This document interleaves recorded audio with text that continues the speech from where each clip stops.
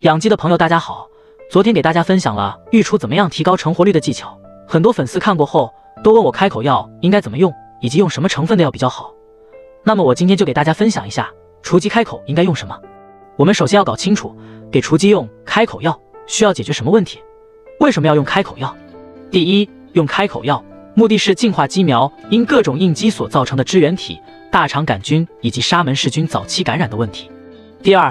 快速的建立鸡群肠道有益菌群，这个问题不解决好，鸡群很容易出现拉尿粪、粪便稀薄的现象。很可惜，目前大部分养殖户都没有考虑这个问题。第三，使用开口药是为了增强雏鸡抗病能力，主要是培养雏鸡的体质。很多养护都会使用黄芪多糖来提升雏鸡抗病力，其实真正正品的黄芪多糖很难找到，效果呢可想而知。为了解决上面说的三种情况，今天呢我给大家出一套方案。这个方案也是我很多年总结出来的，并且现在一直在用的方案，效果非常不错。在育雏期间，首先选用优质的液体微生态制剂，这是必须要加的。因为雏鸡在出壳前，鸡的消化道是无菌的，但在出壳后约一小时，就会在素囊、腺胃中检测出细菌，随后出现细菌的大量繁殖，在需氧及兼性厌氧菌大量繁殖后，进而出现厌氧菌的繁殖高峰，最后达到一个动态平衡。不过呢。正常菌群在雏鸡消化道完成定植过程需要三十天左右，也就是说，大概在三十天左右，这些有益菌才能发挥应用的功效，急助消化和降低料肉比。这个时间是有点长的，在这期间还不包括我们所加的抗菌药对肠道内有益菌的杀灭作用。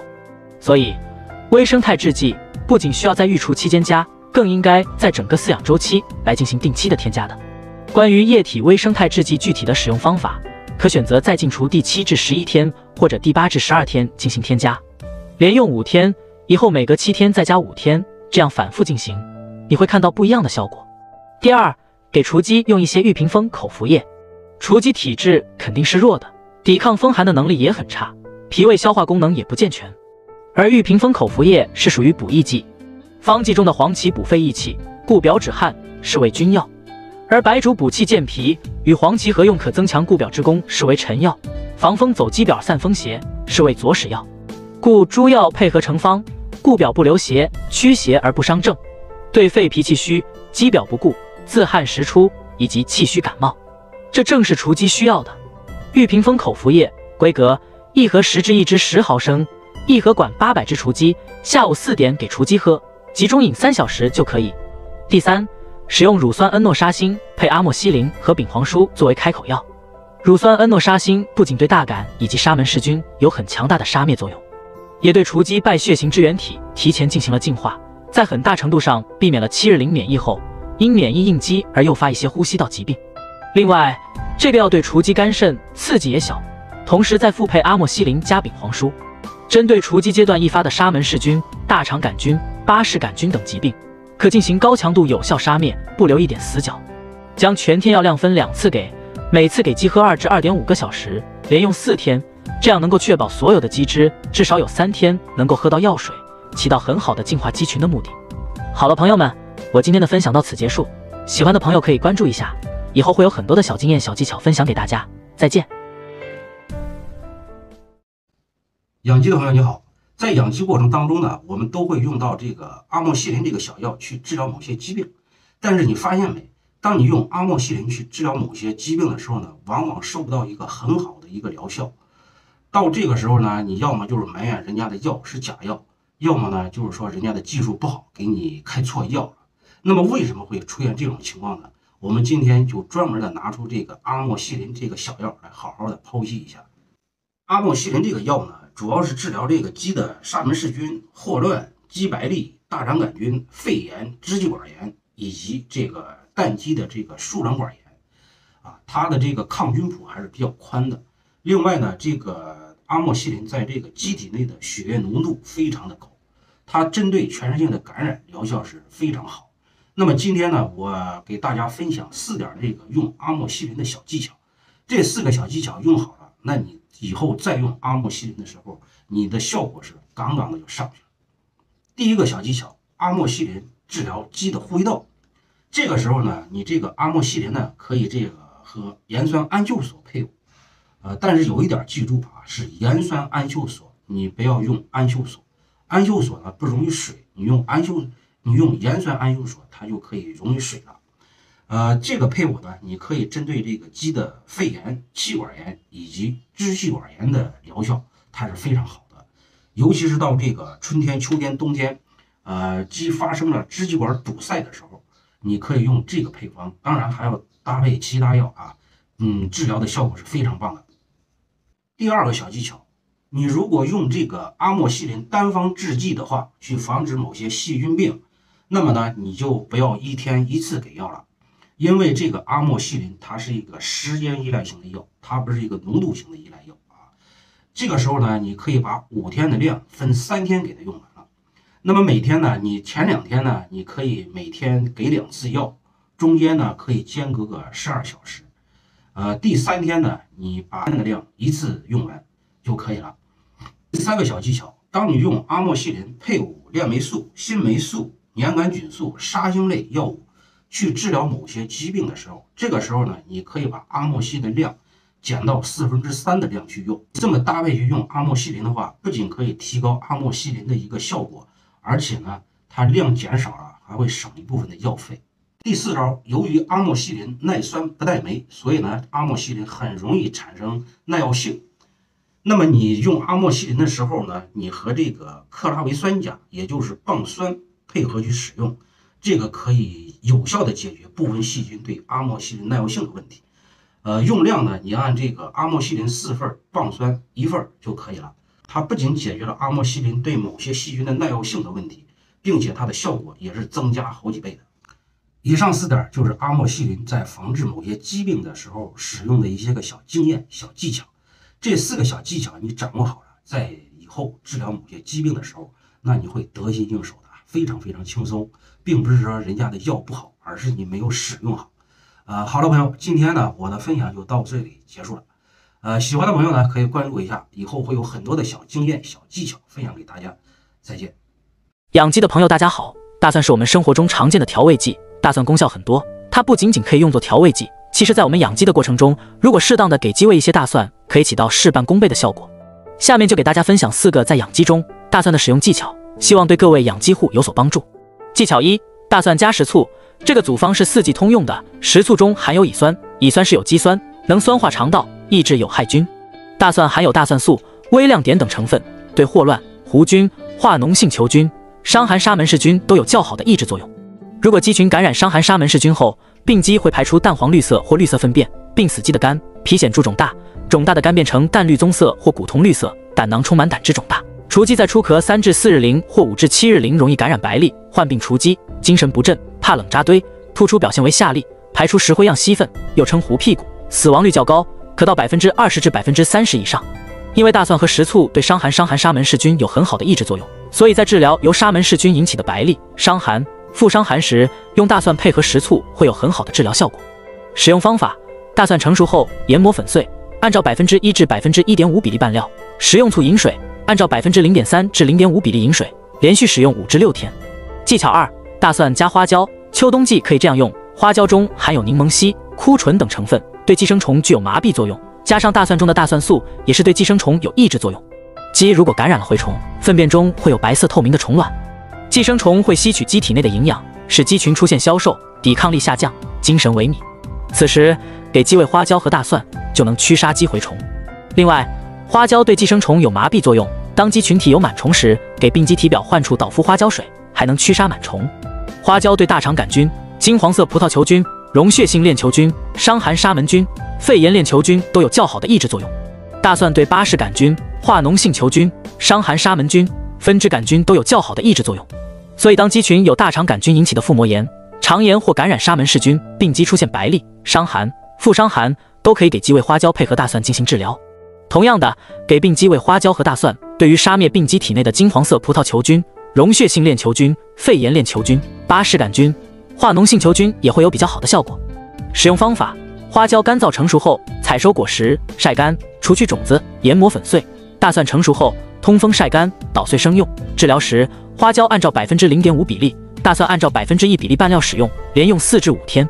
技巧三：大蒜加红糖。秋冬季可以用大蒜和红糖，性温，善散阴冷，温中止痛。能发散体表之寒。大蒜归脾胃经，理气开胃。红糖味甘，入脾，有健脾暖胃的作用。此外，大蒜能够促进胃液的分泌，帮助饲料消化。红糖具有补气益血作用，尤其是冬天给产蛋鸡用红糖，有非常好暖宫作用。使用方法：大蒜成熟后粉碎拌料，大蒜按照百分之一至百分之一点五比例拌料，红糖按照百分之零点五比例混匀拌料使用，连用四至五天。技巧四：大蒜加板蓝根，秋冬季用。进入秋冬天是流感等病毒病的高发期，板蓝根含次黄嘌呤、尿嘧啶氨基酸等成分，有清热、抗病毒的作用，能促进免疫蛋白的生成，提高鸡群的免疫力。大蒜归脾胃经，理气开胃。大蒜配合板蓝根配合使用，既能抗病毒，又能促进鸡群采食，有助于鸡群精神快速恢复。此外，板蓝根对大肠杆菌、腹伤寒、肠炎杆菌、痢疾杆菌等肠道细菌有很好的抑制作用。大蒜能抑制沙门氏菌。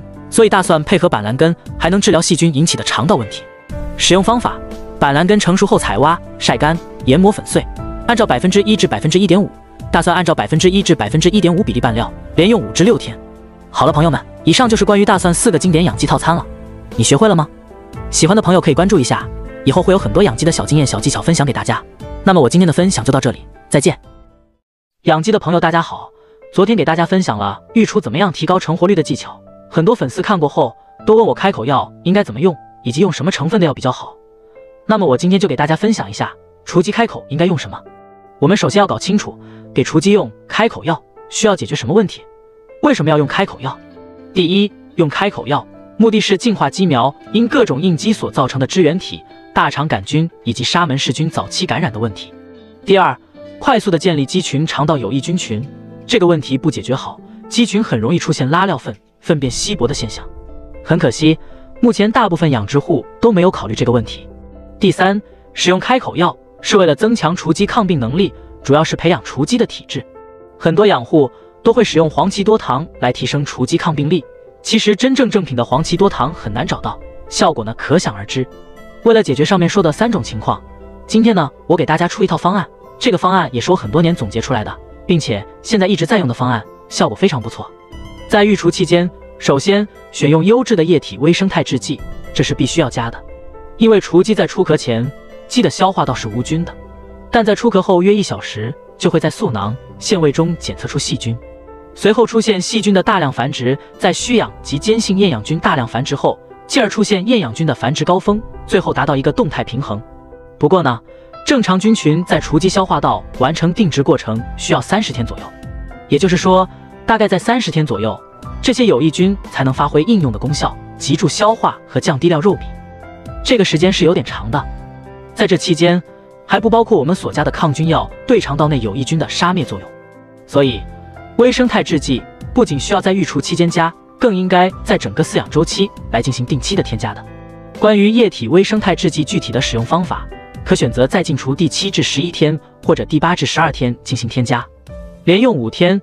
以后每隔七天再加五天，这样反复进行，你会看到不一样的效果。第二，给雏鸡用一些玉屏风口服液。雏鸡体质肯定是弱的，抵抗风寒的能力也很差，脾胃消化功能也不健全。而玉屏风口服液是属于补益剂，方剂中的黄芪补肺益气、固表止汗，是为君药；而白术补气健脾，与黄芪合用可增强固表之功，是为臣药；防风走鸡表散风邪，是为佐使药。故诸药配合成方。固表不流邪，驱邪而不伤正，对肺脾气虚、肌表不固、自汗时出以及气虚感冒，这正是雏鸡需要的。玉屏风口服液规格：一盒十支，一支十毫升，一盒管八百只雏鸡。下午四点给雏鸡喝，集中饮三小时就可以。第三，使用乳酸恩诺沙星配阿莫西林和丙黄舒作为开口药。乳酸恩诺沙星不仅对大杆以及沙门氏菌有很强大的杀灭作用。也对雏鸡败血型支原体提前进行了净化，在很大程度上避免了七日龄免疫后因免疫应激而诱发一些呼吸道疾病。另外，这个药对雏鸡肝肾刺激也小，同时再复配阿莫西林加丙黄舒，针对雏鸡阶段易发的沙门氏菌、大肠杆菌、巴氏杆菌等疾病，可进行高强度有效杀灭，不留一点死角。将全天药量分两次给，每次给鸡喝二至二点五个小时，连用四天。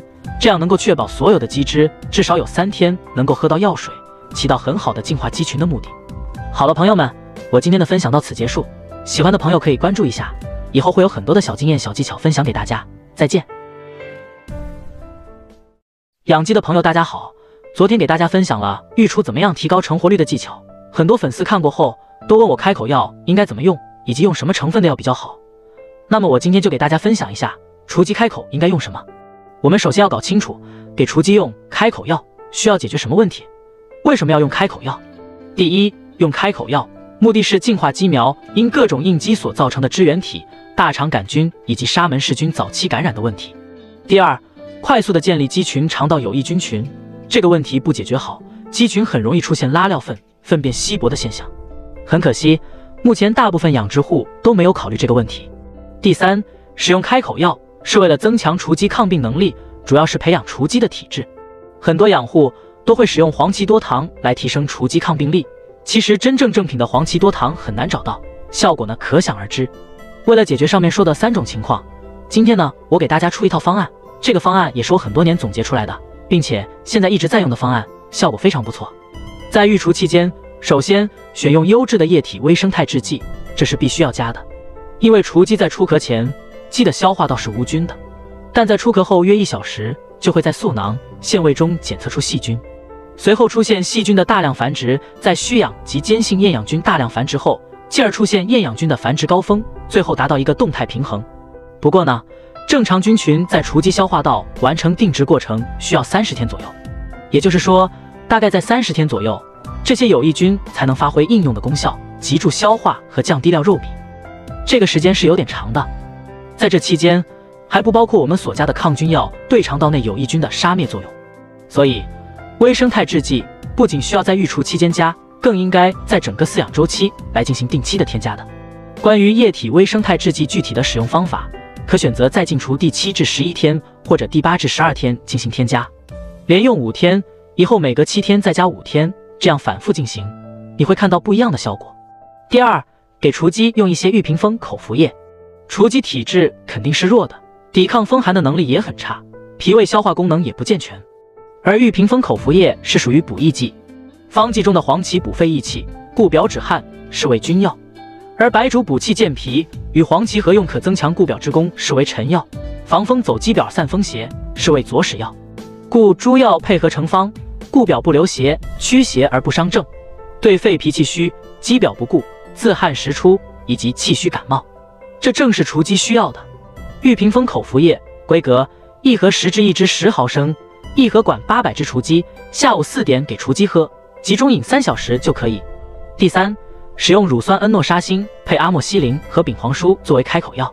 乳酸恩诺沙星不仅对大杆以及沙门氏菌有很强大的杀灭作用，也对雏鸡败血型支原体提前进行了净化，在很大程度上避免了七日龄免疫后因免疫应激而诱发一些呼吸道疾病。另外，这个药对雏鸡肝肾刺激也小，同时再复配阿莫西林加丙黄舒，针对雏鸡阶段易发的沙门氏菌、大肠杆菌、巴氏杆菌等疾病，可进行高强度有效杀灭，不留一点死角。将全天药量分两次给，每次给鸡喝二至二点五个小时，连用四天，这样能够确保所有的鸡只至少有三天能够喝到药水，起到很好的净化鸡群的目的。好了，朋友们，我今天的分享到此结束，喜欢的朋友可以关注一下。以后会有很多的小经验、小技巧分享给大家。再见！养鸡的朋友，大家好。大蒜是我们生活中常见的调味剂，大蒜功效很多。它不仅仅可以用作调味剂，其实在我们养鸡的过程中，如果适当的给鸡喂一些大蒜，可以起到事半功倍的效果。下面就给大家分享四个在养鸡中大蒜的使用技巧，希望对各位养鸡户有所帮助。技巧一：大蒜加食醋。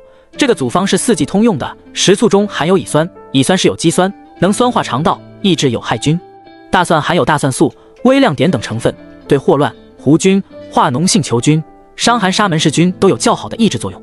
如果鸡群感染伤寒沙门氏菌后，病鸡会排出淡黄绿色或绿色粪便，病死鸡的肝皮显著肿大，肿大的肝变成淡绿棕色或古铜绿色，胆囊充满胆汁肿大。雏鸡在出壳三至四日龄或五至七日龄容易感染白痢，患病雏鸡精神不振，怕冷扎堆，突出表现为下痢，排出石灰样稀粪，又称糊屁股，死亡率较高。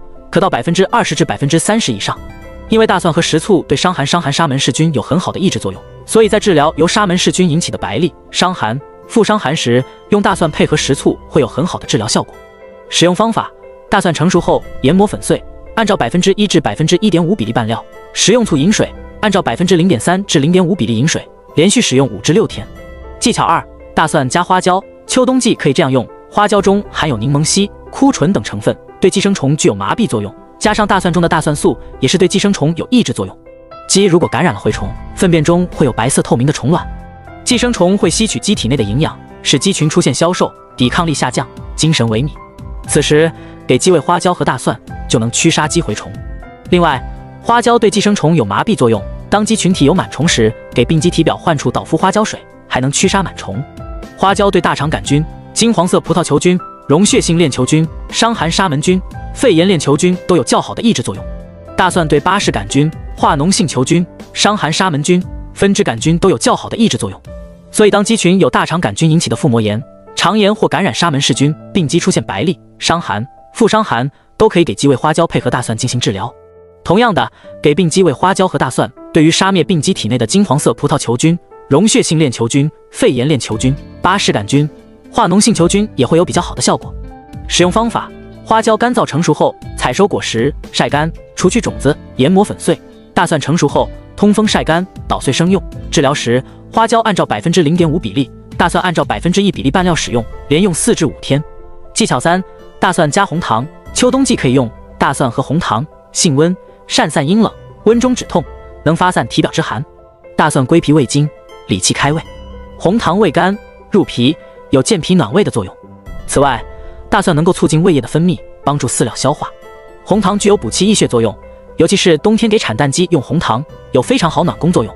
使用方法：大蒜成熟后粉碎拌料，大蒜按照百分之一至百分之一点五比例拌料，红糖按照百分之零点五比例混匀拌料使用，连用四至五天。技巧四：大蒜加板蓝根，秋冬季用。进入秋冬天是流感等病毒病的高发期，板蓝根含次黄嘌呤、尿嘧啶氨基酸等成分。有清热、抗病毒的作用，能促进免疫蛋白的生成，提高鸡群的免疫力。大蒜归脾胃经，理气开胃。大蒜配合板蓝根配合使用，既能抗病毒，又能促进鸡群采食，有助于鸡群精神快速恢复。此外，板蓝根对大肠杆菌、腹伤寒、肠炎杆菌、痢疾杆菌等肠道细菌有很好的抑制作用。大蒜能抑制沙门氏菌，所以大蒜配合板蓝根还能治疗细菌引起的肠道问题。使用方法：板蓝根成熟后采挖、晒干、研磨粉碎。按照百分之一至百分之一点五，大蒜按照百分之一至百分之一点五比例拌料，连用五至六天。好了，朋友们，以上就是关于大蒜四个经典养鸡套餐了，你学会了吗？喜欢的朋友可以关注一下，以后会有很多养鸡的小经验、小技巧分享给大家。那么我今天的分享就到这里，再见。养鸡的朋友大家好，大蒜是我们生活中常见的调味剂，大蒜功效很多，它不仅仅可以用作调味剂，其实在我们养鸡的过程中，如果适当的给鸡喂一些大蒜，可以起到事半功倍的效果。下面就给大家分享四个在养鸡中。大蒜的使用技巧，希望对各位养鸡户有所帮助。技巧一：大蒜加食醋。这个组方是四季通用的，食醋中含有乙酸，乙酸是有机酸，能酸化肠道，抑制有害菌。大蒜含有大蒜素、微量碘等成分，对霍乱、弧菌、化脓性球菌、伤寒沙门氏菌都有较好的抑制作用。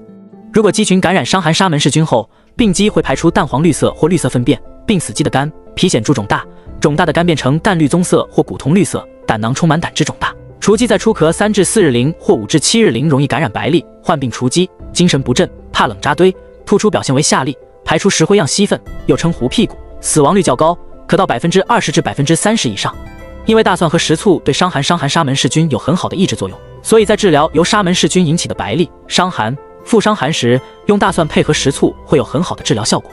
使用方法：大蒜成熟后研磨粉碎，按照百分之一至百分之一点五比例拌料，食用醋饮水。按照百分之零点三至零点五比例饮水，连续使用五至六天。技巧二：大蒜加花椒，秋冬季可以这样用。花椒中含有柠檬烯、枯醇等成分，对寄生虫具有麻痹作用，加上大蒜中的大蒜素，也是对寄生虫有抑制作用。鸡如果感染了蛔虫，粪便中会有白色透明的虫卵，寄生虫会吸取鸡体内的营养，使鸡群出现消瘦、抵抗力下降、精神萎靡。此时给鸡喂花椒和大蒜，就能驱杀鸡蛔虫。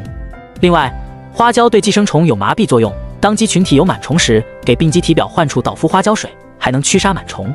花椒对大肠杆菌、金黄色葡萄球菌、溶血性链球菌、伤寒沙门菌、肺炎链球菌都有较好的抑制作用。大蒜对巴氏杆菌、化脓性球菌、伤寒沙门菌、分支杆菌都有较好的抑制作用。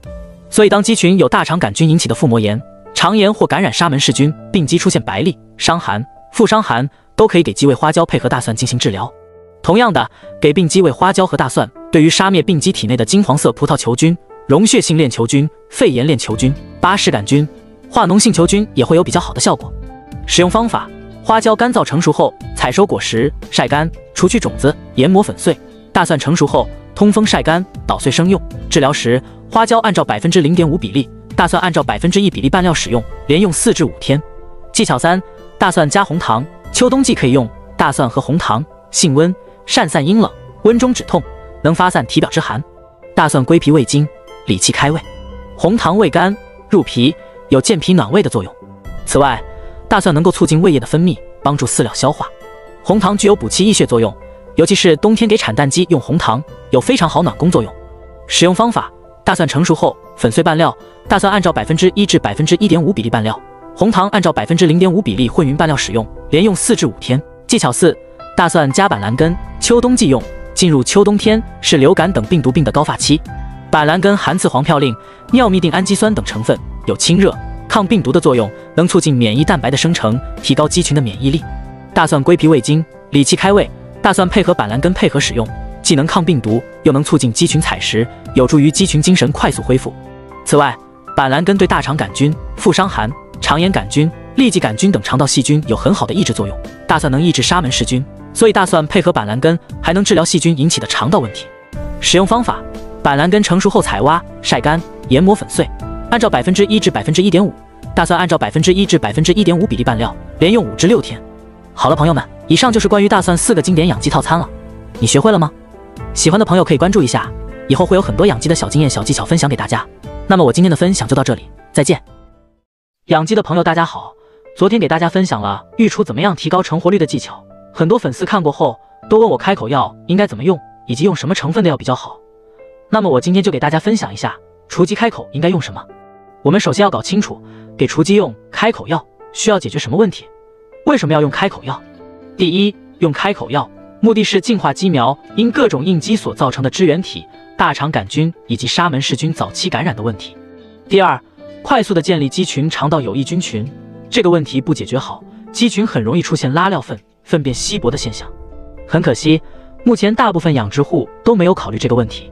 第三，使用开口药是为了增强雏鸡抗病能力，主要是培养雏鸡的体质。很多养护都会使用黄芪多糖来提升雏鸡抗病力，其实真正正品的黄芪多糖很难找到，效果呢可想而知。为了解决上面说的三种情况，今天呢我给大家出一套方案，这个方案也是我很多年总结出来的，并且现在一直在用的方案，效果非常不错。在育雏期间，首先选用优质的液体微生态制剂，这是必须要加的。因为雏鸡在出壳前，鸡的消化道是无菌的，但在出壳后约一小时，就会在嗉囊、腺胃中检测出细菌，随后出现细菌的大量繁殖，在需氧及兼性厌氧菌大量繁殖后，进而出现厌氧菌的繁殖高峰，最后达到一个动态平衡。不过呢，正常菌群在雏鸡消化道完成定植过程需要三十天左右，也就是说。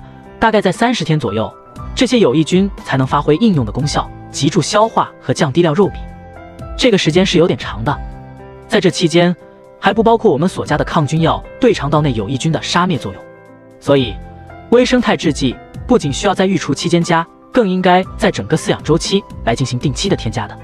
关于液体微生态制剂具体的使用方法，可选择在进雏第七至十一天或者第八至十二天进行添加，连用五天。以后每隔七天再加五天，这样反复进行，你会看到不一样的效果。第二，给雏鸡用一些玉屏风口服液。雏鸡体质肯定是弱的，抵抗风寒的能力也很差，脾胃消化功能也不健全。而玉屏风口服液是属于补益剂，方剂中的黄芪补肺益气、固表止汗，是为君药；而白术补气健脾，与黄芪合用可增强固表之功，是为臣药；防风走鸡表散风邪，是为佐使药。故诸药配合成方。固表不流邪，驱邪而不伤正，对肺脾气虚、肌表不固、自汗时出以及气虚感冒，这正是雏鸡需要的。玉屏风口服液规格：一盒十支，一支十毫升，一盒管八百只雏鸡，下午四点给雏鸡喝，集中饮三小时就可以。第三，使用乳酸恩诺沙星配阿莫西林和丙黄舒作为开口药。乳酸恩诺沙星不仅对大杆以及沙门氏菌有很强大的杀灭作用。也对雏鸡败血型支原体提前进行了净化，在很大程度上避免了七日龄免疫后因免疫应激而诱发一些呼吸道疾病。另外，这个药对雏鸡肝肾刺激也小，同时再复配阿莫西林加丙黄舒，针对雏鸡阶段易发的沙门氏菌、大肠杆菌、巴氏杆菌等疾病，可进行高强度有效杀灭，不留一点死角。将全天药量分两次给，每次给鸡喝二至二点五个小时，连用四天，这样能够确保所有的鸡只至少有三天能够喝到药水，起到很好的净化鸡群的目的。好了，朋友们，我今天的分享到此结束，喜欢的朋友可以关注一下，以后会有很多的小经验、小技巧分享给大家。再见。养鸡的朋友大家好，昨天给大家分享了育雏怎么样提高成活率的技巧，很多粉丝看过后都问我开口药应该怎么用。以及用什么成分的药比较好？那么我今天就给大家分享一下雏鸡开口应该用什么。我们首先要搞清楚，给雏鸡用开口药需要解决什么问题？为什么要用开口药？第一，用开口药目的是净化鸡苗因各种应激所造成的支原体、大肠杆菌以及沙门氏菌早期感染的问题。第二，快速的建立鸡群肠道有益菌群，这个问题不解决好，鸡群很容易出现拉尿粪、粪便稀薄的现象。很可惜。目前大部分养殖户都没有考虑这个问题。第三，使用开口药是为了增强雏鸡抗病能力，主要是培养雏鸡的体质。很多养护都会使用黄芪多糖来提升雏鸡抗病力，其实真正正品的黄芪多糖很难找到，效果呢可想而知。为了解决上面说的三种情况，今天呢我给大家出一套方案，这个方案也是我很多年总结出来的，并且现在一直在用的方案，效果非常不错。在育雏期间。首先选用优质的液体微生态制剂，这是必须要加的。因为雏鸡在出壳前，鸡的消化道是无菌的，但在出壳后约一小时，就会在嗉囊、腺胃中检测出细菌，随后出现细菌的大量繁殖，在需氧及间性厌氧菌大量繁殖后，进而出现厌氧菌的繁殖高峰，最后达到一个动态平衡。不过呢，正常菌群在雏鸡消化道完成定植过程需要三十天左右，也就是说，大概在三十天左右。这些有益菌才能发挥应用的功效，急助消化和降低料肉比。这个时间是有点长的，在这期间还不包括我们所加的抗菌药对肠道内有益菌的杀灭作用。所以，微生态制剂不仅需要在育雏期间加，更应该在整个饲养周期来进行定期的添加的。关于液体微生态制剂具体的使用方法，可选择在进雏第七至十一天或者第八至十二天进行添加，连用五天以后，每隔七天再加五天。这样反复进行，你会看到不一样的效果。第二，给雏鸡用一些玉屏风口服液。雏鸡体质肯定是弱的，抵抗风寒的能力也很差，脾胃消化功能也不健全。而玉屏风口服液是属于补益剂，方剂中的黄芪补肺益气、固表止汗，是为君药；而白术补气健脾，与黄芪合用可增强固表之功，是为臣药；防风走鸡表散风邪，是为佐使药。故诸药配合成方。固表不流邪，驱邪而不伤正，对肺脾气虚、肌表不固、自汗时出以及气虚感冒，这正是雏鸡需要的。玉屏风口服液规格：一盒十支，一支十毫升，一盒管八百只雏鸡，下午四点给雏鸡喝，集中饮三小时就可以。第三，使用乳酸恩诺沙星配阿莫西林和丙黄舒作为开口药。乳酸恩诺沙星不仅对大杆以及沙门氏菌有很强大的杀灭作用。也对雏鸡败血型支原体提前进行了净化，在很大程度上避免了七日龄免疫后因免疫应激而诱发一些呼吸道疾病。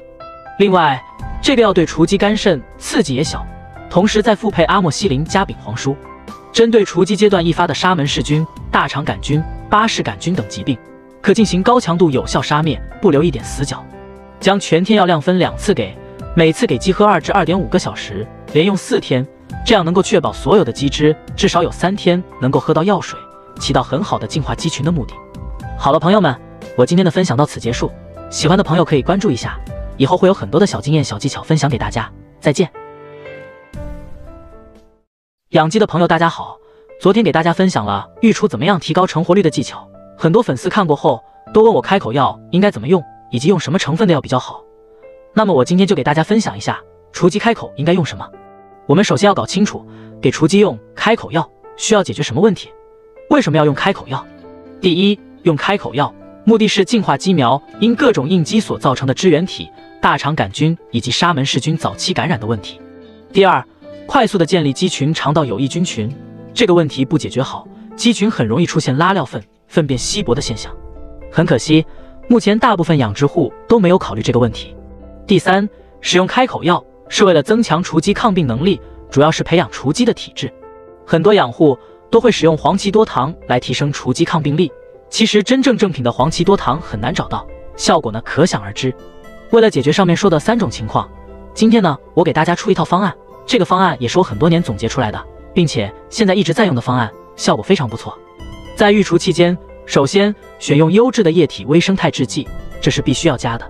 因为雏鸡在出壳前，鸡的消化道是无菌的，但在出壳后约一小时，就会在嗉囊、腺胃中检测出细菌，随后出现细菌的大量繁殖，在需氧及间性厌氧菌大量繁殖后，进而出现厌氧菌的繁殖高峰，最后达到一个动态平衡。不过呢，正常菌群在雏鸡消化道完成定植过程需要三十天左右，也就是说，大概在三十天左右，这些有益菌才能发挥应用的功效，急助消化和降低料肉比。这个时间是有点长的，在这期间还不包括我们所加的抗菌药对肠道内有益菌的杀灭作用，所以微生态制剂不仅需要在育雏期间加，更应该在整个饲养周期来进行定期的添加的。关于液体微生态制剂具体的使用方法，可选择在进雏第七至十一天或者第八至十二天进行添加，连用五天以后每隔七天再加五天，这样反复进行，你会看到不一样的效果。第二。给雏鸡用一些玉屏风口服液，雏鸡体质肯定是弱的，抵抗风寒的能力也很差，脾胃消化功能也不健全。而玉屏风口服液是属于补益剂，方剂中的黄芪补肺益气、固表止汗，是为君药；而白术补气健脾，与黄芪合用可增强固表之功，是为臣药；防风走鸡表散风邪，是为佐使药。故诸药配合成方，固表不留邪，驱邪而不伤正，对肺脾气虚、肌表不固。自汗时出以及气虚感冒，这正是雏鸡需要的。玉屏风口服液规格：一盒十支，一支十毫升，一盒管八百只雏鸡。下午四点给雏鸡喝，集中饮三小时就可以。第三，使用乳酸恩诺沙星配阿莫西林和丙黄舒作为开口药。乳酸恩诺沙星不仅对大杆以及沙门氏菌有很强大的杀灭作用，也对雏鸡败血型支原体提前进行了净化，在很大程度上避免了七日龄免疫后。因免疫应激而诱发一些呼吸道疾病。另外，这个药对雏鸡肝肾刺激也小，同时再复配阿莫西林加丙黄舒，针对雏鸡阶段易发的沙门氏菌、大肠杆菌、巴氏杆菌等疾病，可进行高强度有效杀灭，不留一点死角。将全天药量分两次给，每次给鸡喝二至二点五个小时，连用四天，这样能够确保所有的鸡只至少有三天能够喝到药水，起到很好的净化鸡群的目的。好了，朋友们。我今天的分享到此结束，喜欢的朋友可以关注一下，以后会有很多的小经验、小技巧分享给大家。再见。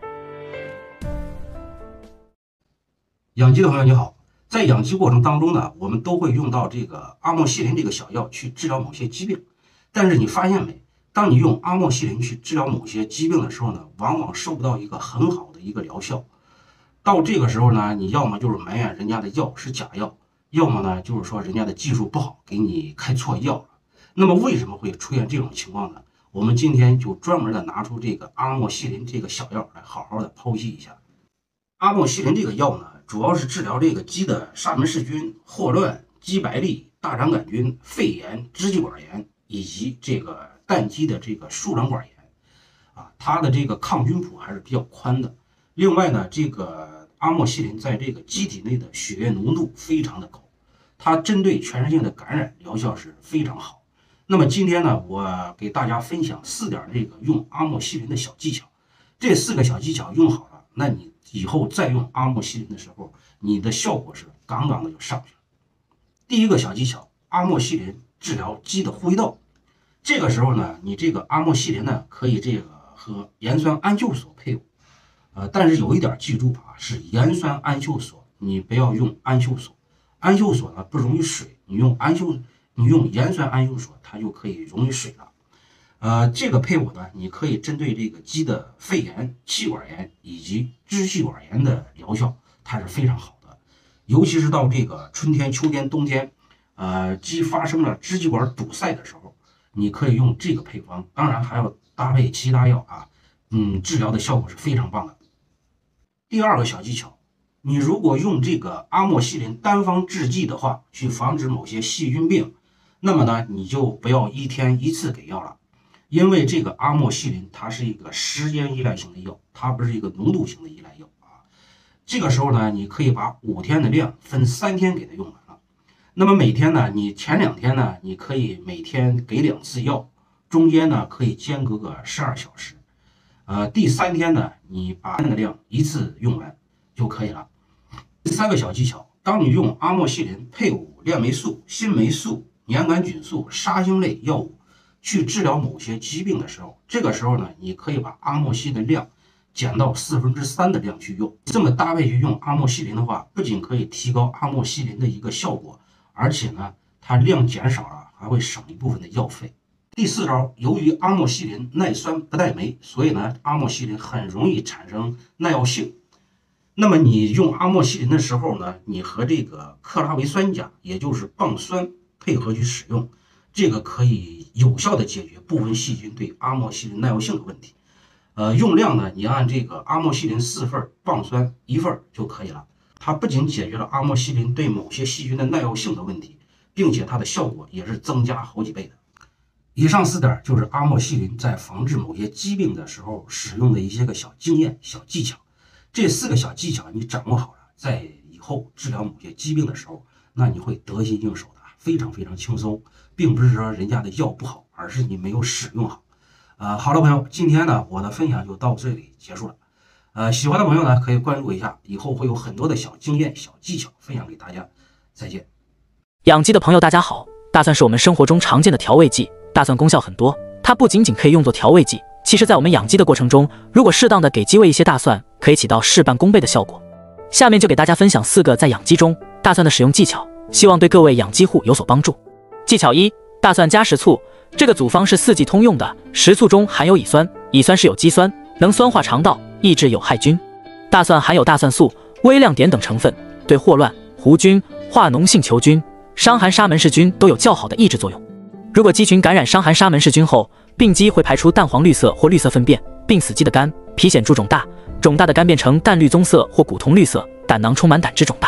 雏鸡在出壳三至四日龄或五至七日龄，容易感染白痢，患病雏鸡，精神不振，怕冷扎堆，突出表现为下痢，排出石灰样稀粪，又称糊屁股，死亡率较高，可到百分之二十至百分之三十以上。因为大蒜和食醋对伤寒伤寒沙门氏菌有很好的抑制作用，所以在治疗由沙门氏菌引起的白痢、伤寒、副伤寒时，用大蒜配合食醋会有很好的治疗效果。使用方法：大蒜成熟后研磨粉碎，按照百分之一至百分之一点五比例拌料，食用醋饮水。按照百分之零点三至零点五比例饮水，连续使用五至六天。技巧二：大蒜加花椒。秋冬季可以这样用，花椒中含有柠檬烯、枯醇等成分，对寄生虫具有麻痹作用。加上大蒜中的大蒜素，也是对寄生虫有抑制作用。鸡如果感染了蛔虫，粪便中会有白色透明的虫卵，寄生虫会吸取鸡体内的营养，使鸡群出现消瘦、抵抗力下降、精神萎靡。此时给鸡喂花椒和大蒜，就能驱杀鸡蛔虫。另外，花椒对寄生虫有麻痹作用，当鸡群体有螨虫时，给病鸡体表患处捣敷花椒水，还能驱杀螨虫。花椒对大肠杆菌、金黄色葡萄球菌、溶血性链球菌、伤寒沙门菌、肺炎链球菌都有较好的抑制作用。大蒜对巴氏杆菌、化脓性球菌、伤寒沙门菌、分支杆菌都有较好的抑制作用。所以，当鸡群有大肠杆菌引起的腹膜炎、肠炎或感染沙门氏菌，病鸡出现白痢、伤寒、副伤寒，都可以给鸡喂花椒配合大蒜进行治疗。同样的，给病鸡喂花椒和大蒜，对于杀灭病鸡体内的金黄色葡萄球菌、溶血性链球菌、肺炎链球菌、巴氏杆菌、化脓性球菌也会有比较好的效果。使用方法：花椒干燥成熟后，采收果实，晒干，除去种子，研磨粉碎；大蒜成熟后，通风晒干，捣碎生用。治疗时，花椒按照百分之零点五比例，大蒜按照百分之一比例拌料使用，连用四至五天。技巧三：大蒜加红糖。秋冬季可以用大蒜和红糖，性温。善散阴冷，温中止痛，能发散体表之寒。大蒜归脾胃经，理气开胃；红糖味甘，入脾，有健脾暖胃的作用。此外，大蒜能够促进胃液的分泌，帮助饲料消化。红糖具有补气益血作用，尤其是冬天给产蛋鸡用红糖，有非常好暖宫作用。使用方法：大蒜成熟后粉碎拌料，大蒜按照百分之一至百分之一点五比例拌料，红糖按照百分之零点五比例混匀拌料使用，连用四至五天。技巧四。大蒜加板蓝根，秋冬季用。进入秋冬天是流感等病毒病的高发期，板蓝根含次黄嘌呤、尿嘧啶氨基酸等成分，有清热、抗病毒的作用，能促进免疫蛋白的生成，提高鸡群的免疫力。大蒜归脾胃经，理气开胃。大蒜配合板蓝根配合使用，既能抗病毒，又能促进鸡群采食，有助于鸡群精神快速恢复。此外，板蓝根对大肠杆菌、副伤寒、肠炎杆菌、痢疾杆菌等肠道细菌有很好的抑制作用。大蒜能抑制沙门氏菌，所以大蒜配合板蓝根还能治疗细菌引起的肠道问题。使用方法：板蓝根成熟后采挖、晒干、研磨粉碎，按照百分之一至百分之一点五；大蒜按照百分之一至百分之一点五比例拌料，连用五至六天。好了，朋友们，以上就是关于大蒜四个经典养鸡套餐了，你学会了吗？喜欢的朋友可以关注一下，以后会有很多养鸡的小经验、小技巧分享给大家。那么我今天的分享就到这里，再见。养鸡的朋友大家好，昨天给大家分享了育雏怎么样提高成活率的技巧，很多粉丝看过后都问我开口药应该怎么用，以及用什么成分的药比较好。那么我今天就给大家分享一下雏鸡开口应该用什么。我们首先要搞清楚，给雏鸡用开口药需要解决什么问题？为什么要用开口药？第一，用开口药目的是净化鸡苗因各种应激所造成的支原体。大肠杆菌以及沙门氏菌早期感染的问题。第二，快速的建立鸡群肠道有益菌群，这个问题不解决好，鸡群很容易出现拉尿粪、粪便稀薄的现象。很可惜，目前大部分养殖户都没有考虑这个问题。第三，使用开口药是为了增强雏鸡抗病能力，主要是培养雏鸡的体质。很多养护都会使用黄芪多糖来提升雏鸡抗病力，其实真正正品的黄芪多糖很难找到，效果呢可想而知。为了解决上面说的三种情况，今天呢，我给大家出一套方案。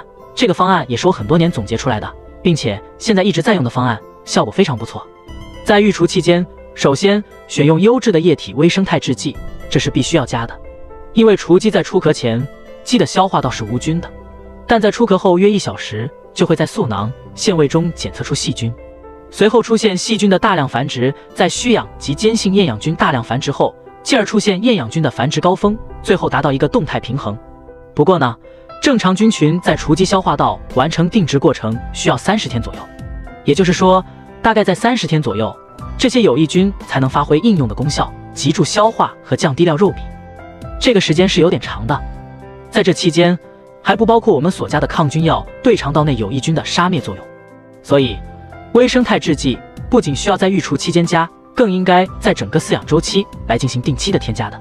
关于液体微生态制剂具体的使用方法，可选择在进雏第七至十一天或者第八至十二天进行添加，连用五天，以后每隔七天再加五天，这样反复进行，你会看到不一样的效果。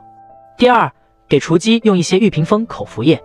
雏鸡体质肯定是弱的，抵抗风寒的能力也很差，脾胃消化功能也不健全，而玉屏风口服液是属于补益剂。方剂中的黄芪补肺益气，固表止汗，是为君药；而白术补气健脾，与黄芪合用可增强固表之功，是为臣药。防风走鸡表散风邪，是为佐使药。故诸药配合成方，固表不留邪，驱邪而不伤正，对肺脾气虚、鸡表不固、自汗时出以及气虚感冒，这正是雏鸡需要的。玉屏风口服液规格：一盒十支，一支十毫升，一盒管八百只雏鸡，下午四点给雏鸡喝。集中饮三小时就可以。第三，使用乳酸恩诺沙星配阿莫西林和丙黄舒作为开口药。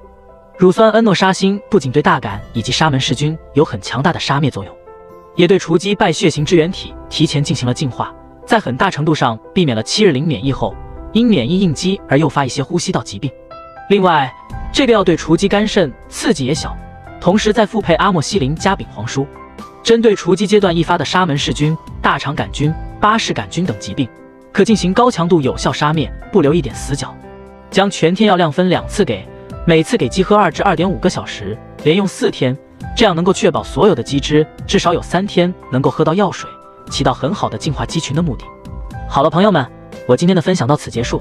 喜欢的朋友可以关注一下，以后会有很多的小经验、小技巧分享给大家。再见。养鸡的朋友大家好。昨天给大家分享了育雏怎么样提高成活率的技巧，很多粉丝看过后都问我开口药应该怎么用，以及用什么成分的药比较好。那么我今天就给大家分享一下雏鸡开口应该用什么。我们首先要搞清楚，给雏鸡用开口药需要解决什么问题？为什么要用开口药？第一，用开口药目的是净化鸡苗因各种应激所造成的支原体、大肠杆菌以及沙门氏菌早期感染的问题。第二。快速的建立鸡群肠道有益菌群。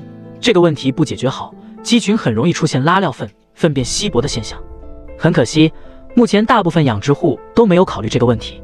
第三，使用开口药是为了增强雏鸡抗病能力，主要是培养雏鸡的体质。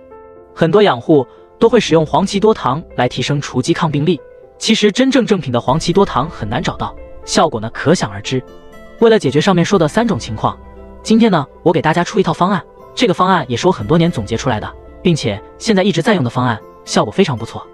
在育雏期间，首先选用优质的液体微生态制剂，这是必须要加的。因为雏鸡在出壳前，鸡的消化道是无菌的，但在出壳后约一小时，就会在嗉囊、腺胃中检测出细菌，随后出现细菌的大量繁殖，在需氧及间性厌氧菌大量繁殖后，进而出现厌氧菌的繁殖高峰，最后达到一个动态平衡。不过呢。正常菌群在雏鸡消化道完成定植过程需要三十天左右，也就是说，大概在三十天左右，这些有益菌才能发挥应用的功效，急助消化和降低料肉比。这个时间是有点长的，在这期间还不包括我们所加的抗菌药对肠道内有益菌的杀灭作用。所以，微生态制剂不仅需要在育雏期间加，更应该在整个饲养周期来进行定期的添加的。关于液体微生态制剂具体的使用方法。可选择在进雏第七至十一天或者第八至十二天进行添加，连用五天以后每隔七天再加五天，这样反复进行，你会看到不一样的效果。第二，给雏鸡用一些玉屏风口服液。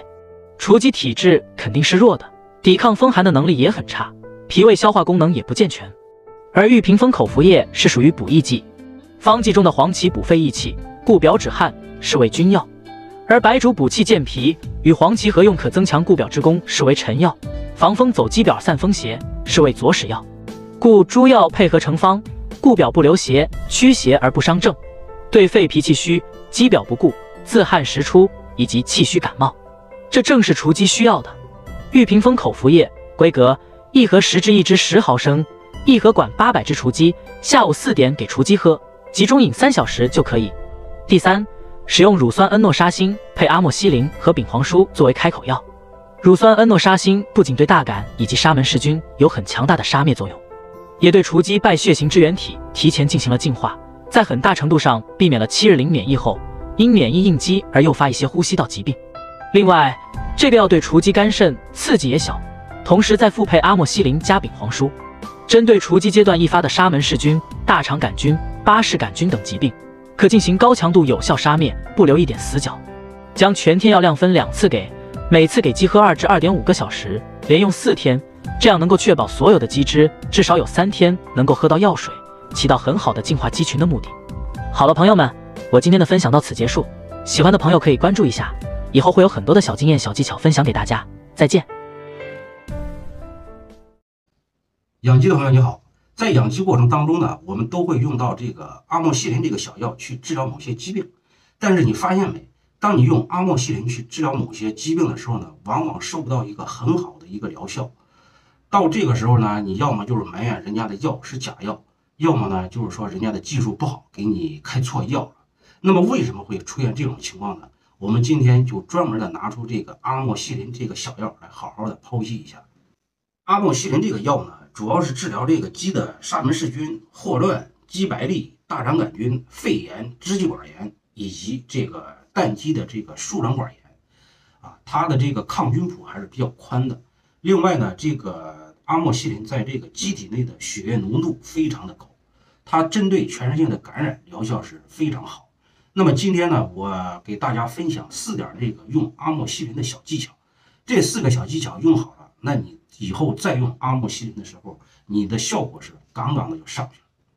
第一个小技巧，阿莫西林治疗鸡的呼吸道。这个时候呢，你这个阿莫西林呢，可以这个和盐酸氨溴索配伍。呃，但是有一点记住啊，是盐酸氨溴索，你不要用氨溴索。氨溴索呢不溶于水，你用氨溴，你用盐酸氨溴索，它就可以溶于水了。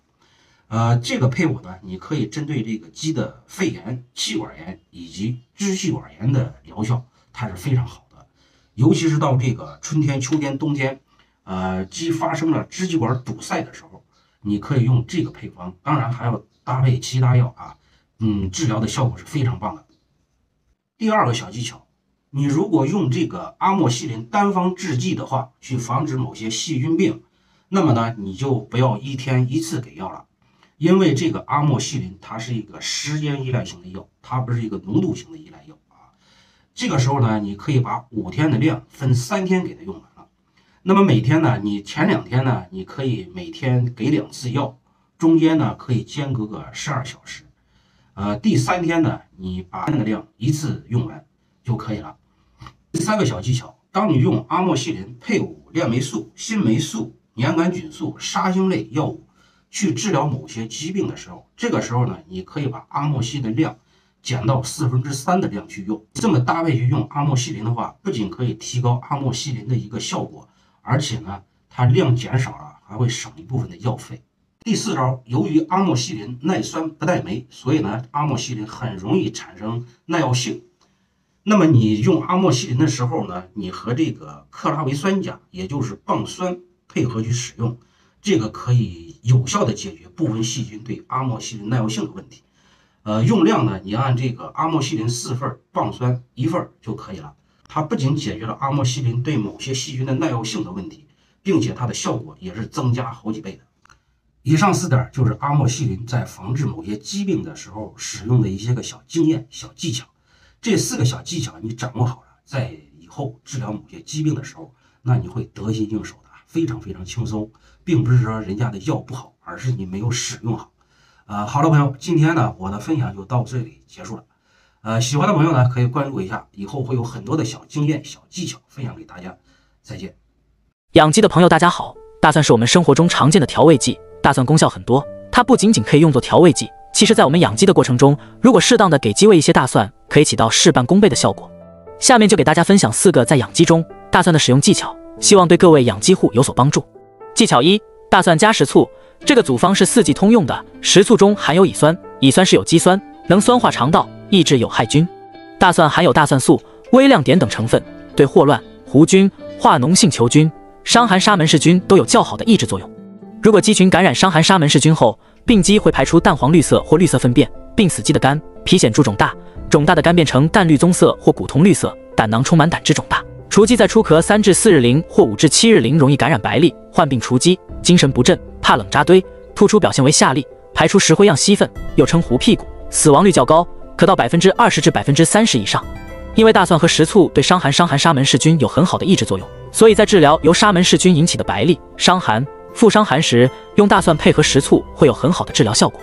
使用方法：大蒜成熟后研磨粉碎，按照百分之一至百分之一点五比例拌料；食用醋饮水，按照百分之零点三至零点五比例饮水，连续使用五至六天。技巧二：大蒜加花椒。秋冬季可以这样用：花椒中含有柠檬烯、枯醇等成分，对寄生虫具有麻痹作用，加上大蒜中的大蒜素，也是对寄生虫有抑制作用。鸡如果感染了蛔虫，粪便中会有白色透明的虫卵。寄生虫会吸取鸡体内的营养，使鸡群出现消瘦、抵抗力下降、精神萎靡。此时给鸡喂花椒和大蒜，就能驱杀鸡蛔虫。另外，花椒对寄生虫有麻痹作用。当鸡群体有螨虫时，给病鸡体表患处捣敷花椒水，还能驱杀螨虫。花椒对大肠杆菌、金黄色葡萄球菌、溶血性链球菌、伤寒沙门菌、肺炎链球菌都有较好的抑制作用。大蒜对巴氏杆菌、化脓性球菌、伤寒沙门菌、分支杆菌都有较好的抑制作用。所以，当鸡群有大肠杆菌引起的腹膜炎、肠炎或感染沙门氏菌，病鸡出现白痢、伤寒、腹伤寒，都可以给鸡喂花椒配合大蒜进行治疗。同样的，给病鸡喂花椒和大蒜，对于杀灭病鸡体内的金黄色葡萄球菌、溶血性链球菌、肺炎链球菌、巴氏杆菌、化脓性球菌也会有比较好的效果。使用方法：花椒干燥成熟后，采收果实，晒干，除去种子，研磨粉碎；大蒜成熟后，通风晒干，捣碎生用。治疗时。花椒按照百分之零点五比例，大蒜按照百分之一比例拌料使用，连用四至五天。技巧三：大蒜加红糖。秋冬季可以用大蒜和红糖，性温，善散阴冷，温中止痛，能发散体表之寒。大蒜归脾胃经，理气开胃；红糖味甘，入脾，有健脾暖胃的作用。此外，大蒜能够促进胃液的分泌，帮助饲料消化。红糖具有补气益血作用，尤其是冬天给产蛋鸡用红糖，有非常好暖宫作用。使用方法。大蒜成熟后粉碎拌料，大蒜按照百分之一至百分之一点五比例拌料，红糖按照百分之零点五比例混匀拌料使用，连用四至五天。技巧四：大蒜加板蓝根。秋冬季用，进入秋冬天是流感等病毒病的高发期。板蓝根含次黄嘌呤、尿嘧啶氨基酸等成分，有清热、抗病毒的作用，能促进免疫蛋白的生成，提高鸡群的免疫力。大蒜归脾胃经，理气开胃。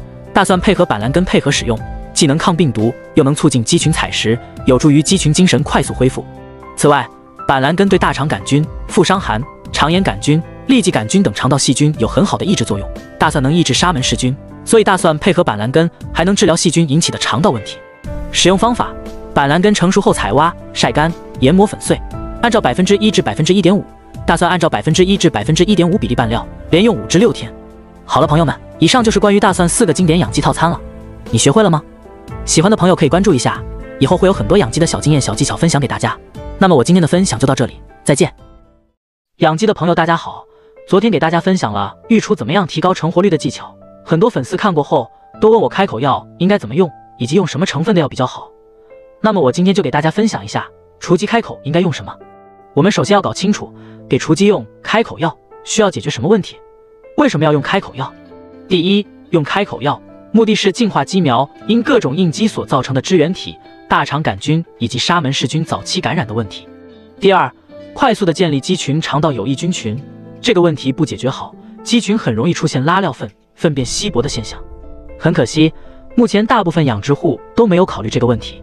第三，使用开口药是为了增强雏鸡抗病能力，主要是培养雏鸡的体质。很多养护都会使用黄芪多糖来提升雏鸡抗病力，其实真正正品的黄芪多糖很难找到，效果呢可想而知。为了解决上面说的三种情况，今天呢我给大家出一套方案，这个方案也是我很多年总结出来的，并且现在一直在用的方案，效果非常不错。在育雏期间，首先选用优质的液体微生态制剂，这是必须要加的。因为雏鸡在出壳前，鸡的消化道是无菌的，但在出壳后约一小时，就会在嗉囊、腺胃中检测出细菌，随后出现细菌的大量繁殖，在需氧及间性厌氧菌大量繁殖后，进而出现厌氧菌的繁殖高峰，最后达到一个动态平衡。不过呢，正常菌群在雏鸡消化道完成定植过程需要三十天左右，也就是说，大概在三十天左右，这些有益菌才能发挥应用的功效，急助消化和降低料肉比。这个时间是有点长的，在这期间还不包括我们所加的抗菌药对肠道内有益菌的杀灭作用，所以微生态制剂不仅需要在育雏期间加，更应该在整个饲养周期来进行定期的添加的。关于液体微生态制剂具体的使用方法，可选择在进雏第七至十一天或者第八至十二天进行添加，连用五天以后每隔七天再加五天，这样反复进行，你会看到不一样的效果。第二。给雏鸡用一些玉屏风口服液，雏鸡体质肯定是弱的，抵抗风寒的能力也很差，脾胃消化功能也不健全。而玉屏风口服液是属于补益剂，方剂中的黄芪补肺益气、固表止汗，是为君药；而白术补气健脾，与黄芪合用可增强固表之功，是为臣药；防风走鸡表散风邪，是为佐使药。故诸药配合成方，固表不留邪，驱邪而不伤正，对肺脾气虚、肌表不固。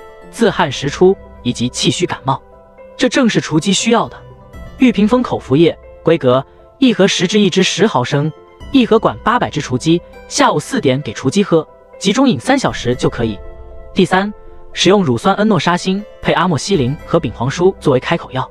乳酸恩诺沙星不仅对大杆以及沙门氏菌有很强大的杀灭作用，也对雏鸡败血型支原体提前进行了净化，在很大程度上避免了七日龄免疫后。因免疫应激而诱发一些呼吸道疾病。另外，这个药对雏鸡肝肾刺激也小，同时再复配阿莫西林加丙黄舒，针对雏鸡阶段易发的沙门氏菌、大肠杆菌、巴氏杆菌等疾病，可进行高强度有效杀灭，不留一点死角。将全天药量分两次给，每次给鸡喝二至二点五个小时，连用四天，这样能够确保所有的鸡只至少有三天能够喝到药水，起到很好的净化鸡群的目的。好了，朋友们。我今天的分享到此结束，喜欢的朋友可以关注一下，以后会有很多的小经验、小技巧分享给大家。再见！养鸡的朋友大家好，昨天给大家分享了育雏怎么样提高成活率的技巧，很多粉丝看过后都问我开口药应该怎么用，以及用什么成分的药比较好。那么我今天就给大家分享一下雏鸡开口应该用什么。我们首先要搞清楚，给雏鸡用开口药需要解决什么问题？为什么要用开口药？第一，用开口药。目的是净化鸡苗因各种应激所造成的支原体、大肠杆菌以及沙门氏菌早期感染的问题。第二，快速的建立鸡群肠道有益菌群，这个问题不解决好，鸡群很容易出现拉尿粪、粪便稀薄的现象。很可惜，目前大部分养殖户都没有考虑这个问题。第三，使用开口药是为了增强雏鸡抗病能力，主要是培养雏鸡的体质。很多养护都会使用黄芪多糖来提升雏鸡抗病力，其实真正正品的黄芪多糖很难找到，效果呢可想而知。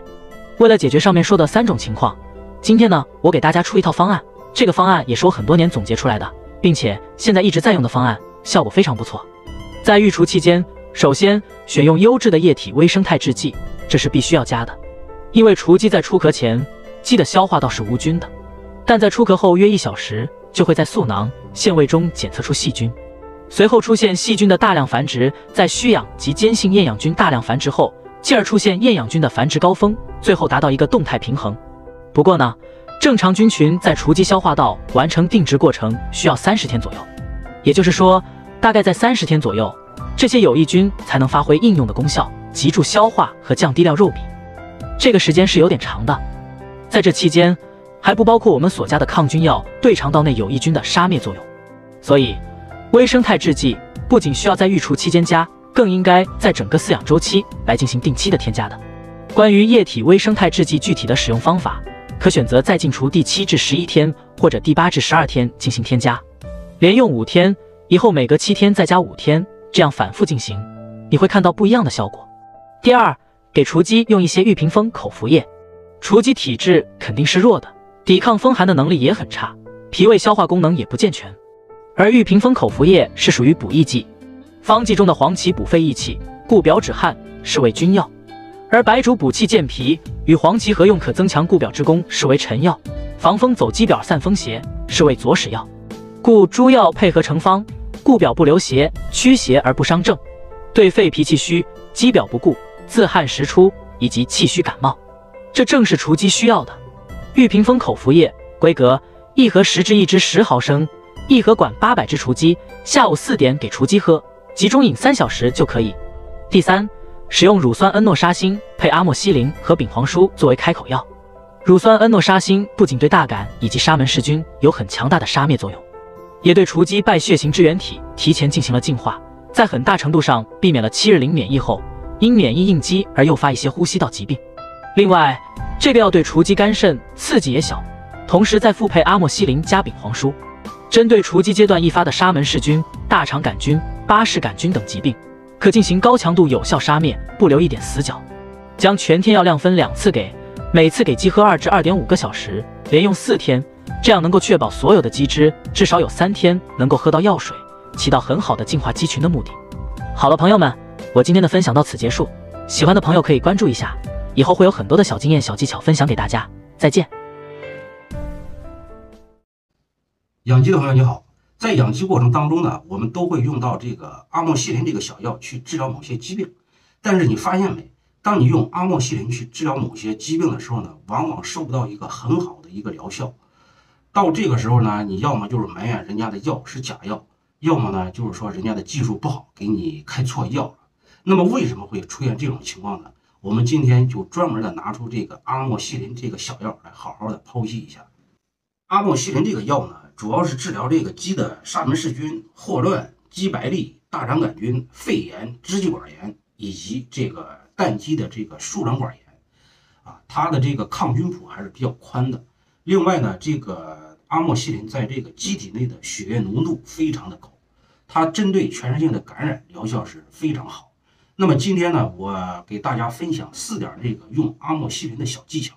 这四个小技巧用好了，那你以后再用阿莫西林的时候，你的效果是杠杠的就上去了。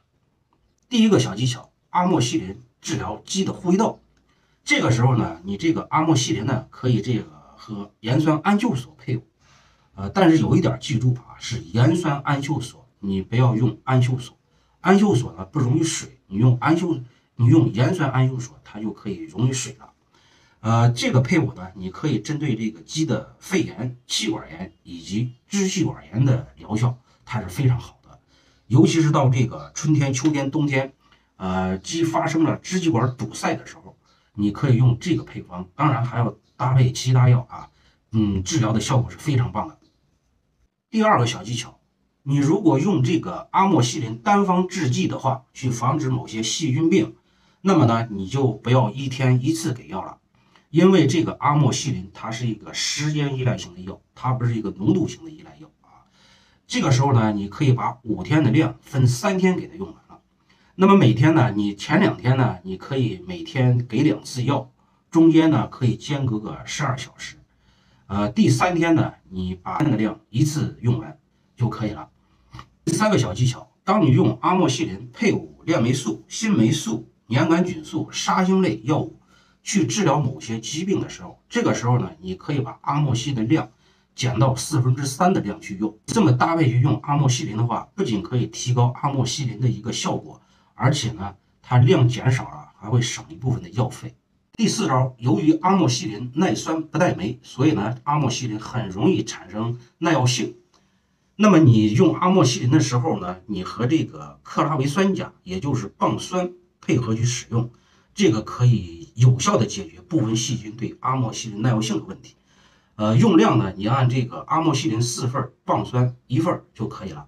它不仅解决了阿莫西林对某些细菌的耐药性的问题，并且它的效果也是增加好几倍的。以上四点就是阿莫西林在防治某些疾病的时候使用的一些个小经验、小技巧。这四个小技巧你掌握好了，在以后治疗某些疾病的时候，那你会得心应手，非常非常轻松。并不是说人家的药不好，而是你没有使用好。呃，好了，朋友，今天呢我的分享就到这里结束了。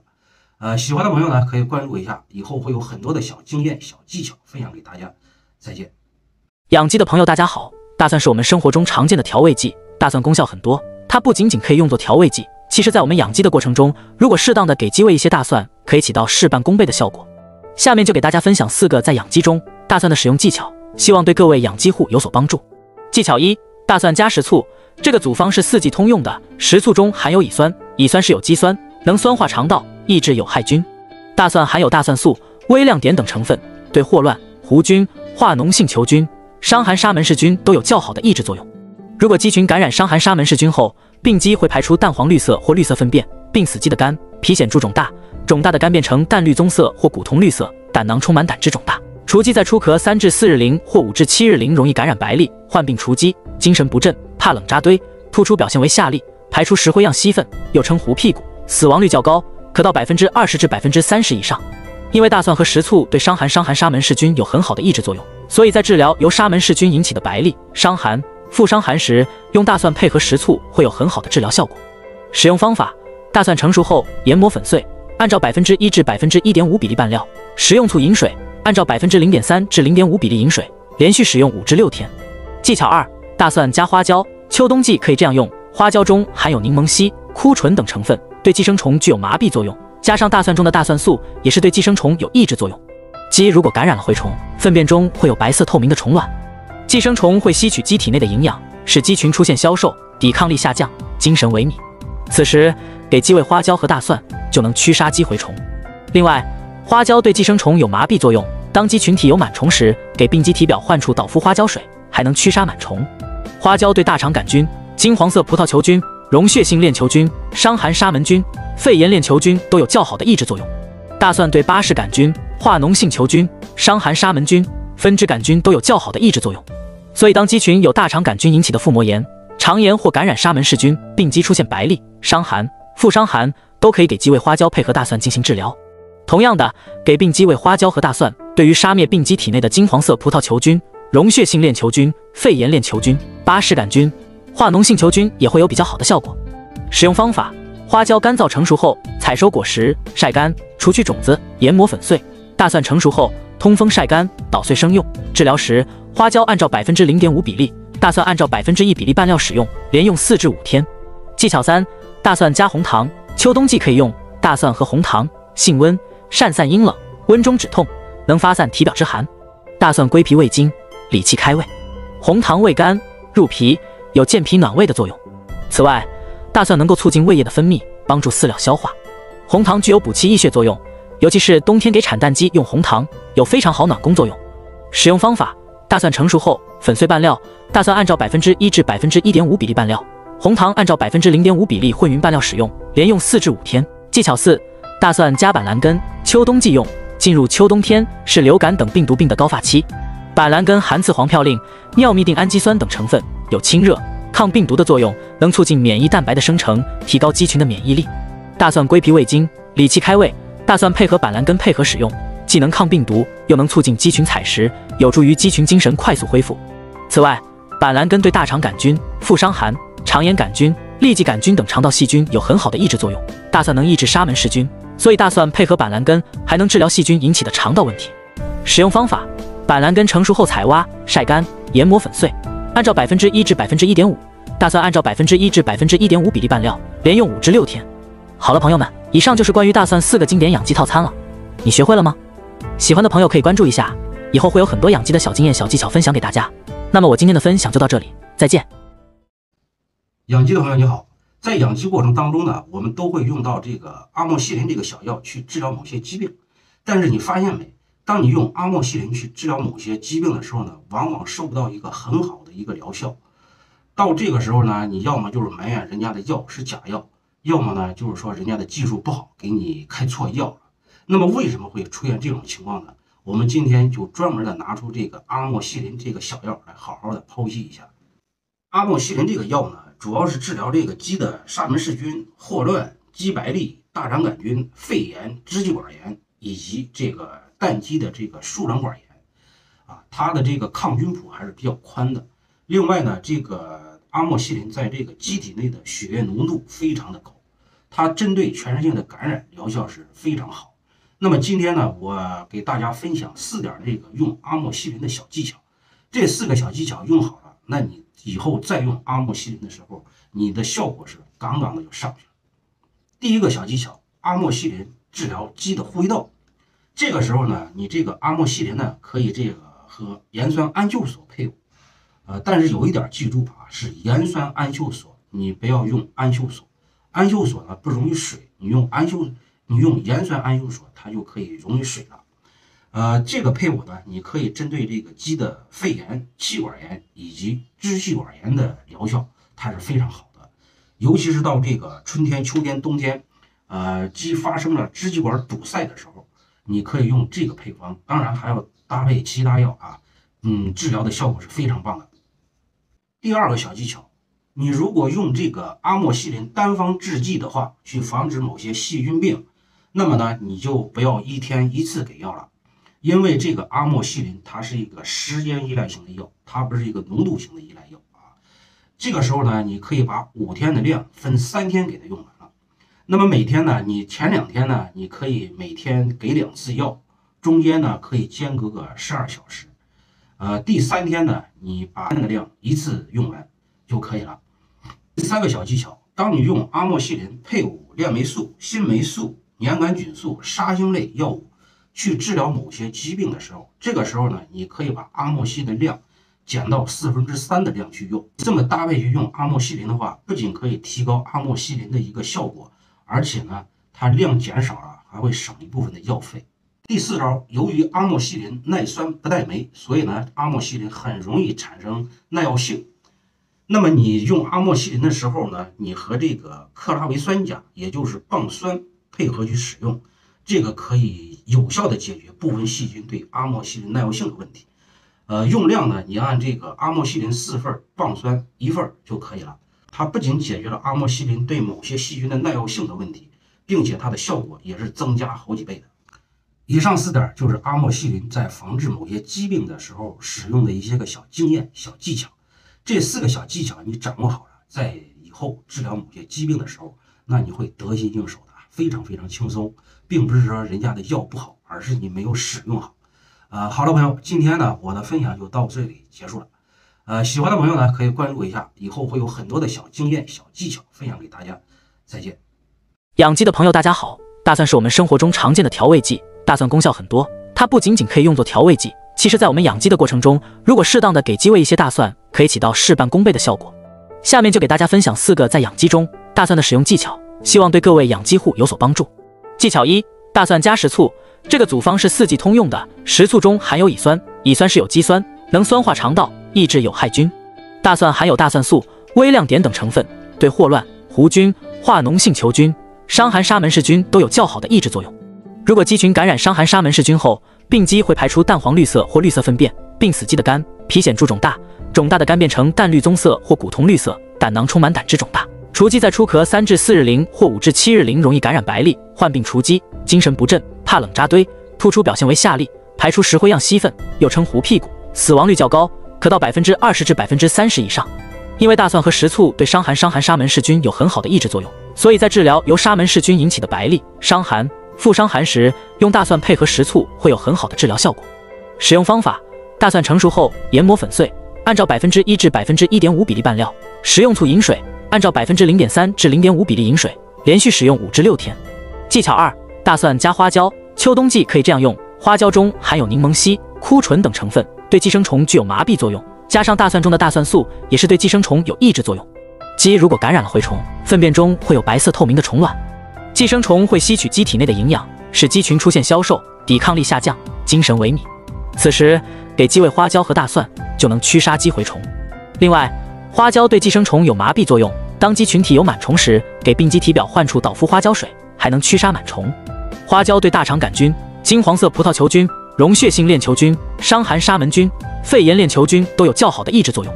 大蒜对巴氏杆菌、化脓性球菌、伤寒沙门菌、分支杆菌都有较好的抑制作用。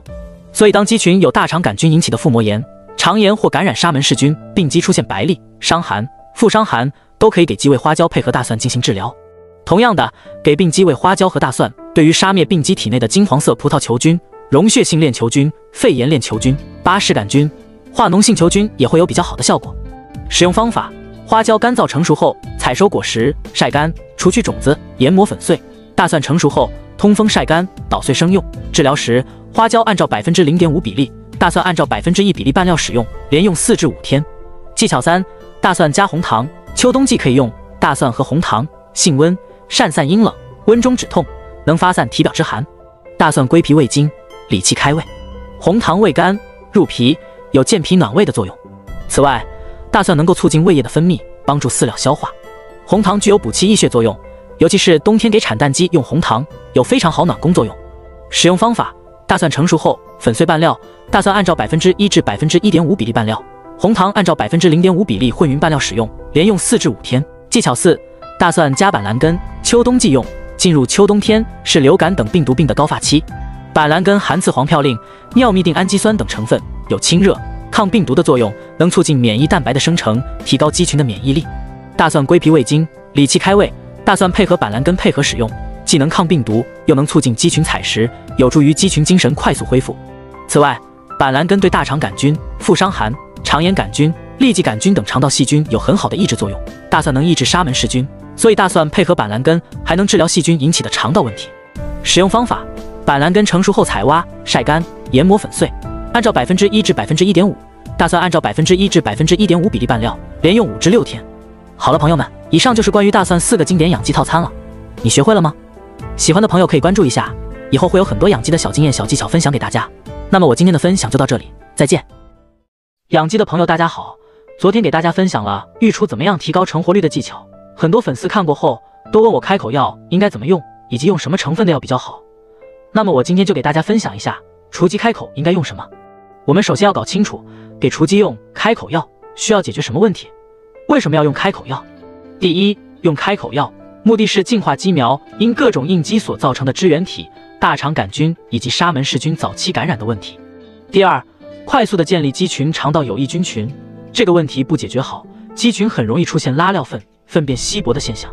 很可惜，目前大部分养殖户都没有考虑这个问题。第三，使用开口药是为了增强雏鸡抗病能力，主要是培养雏鸡的体质。很多养护都会使用黄芪多糖来提升雏鸡抗病力。其实真正正品的黄芪多糖很难找到，效果呢可想而知。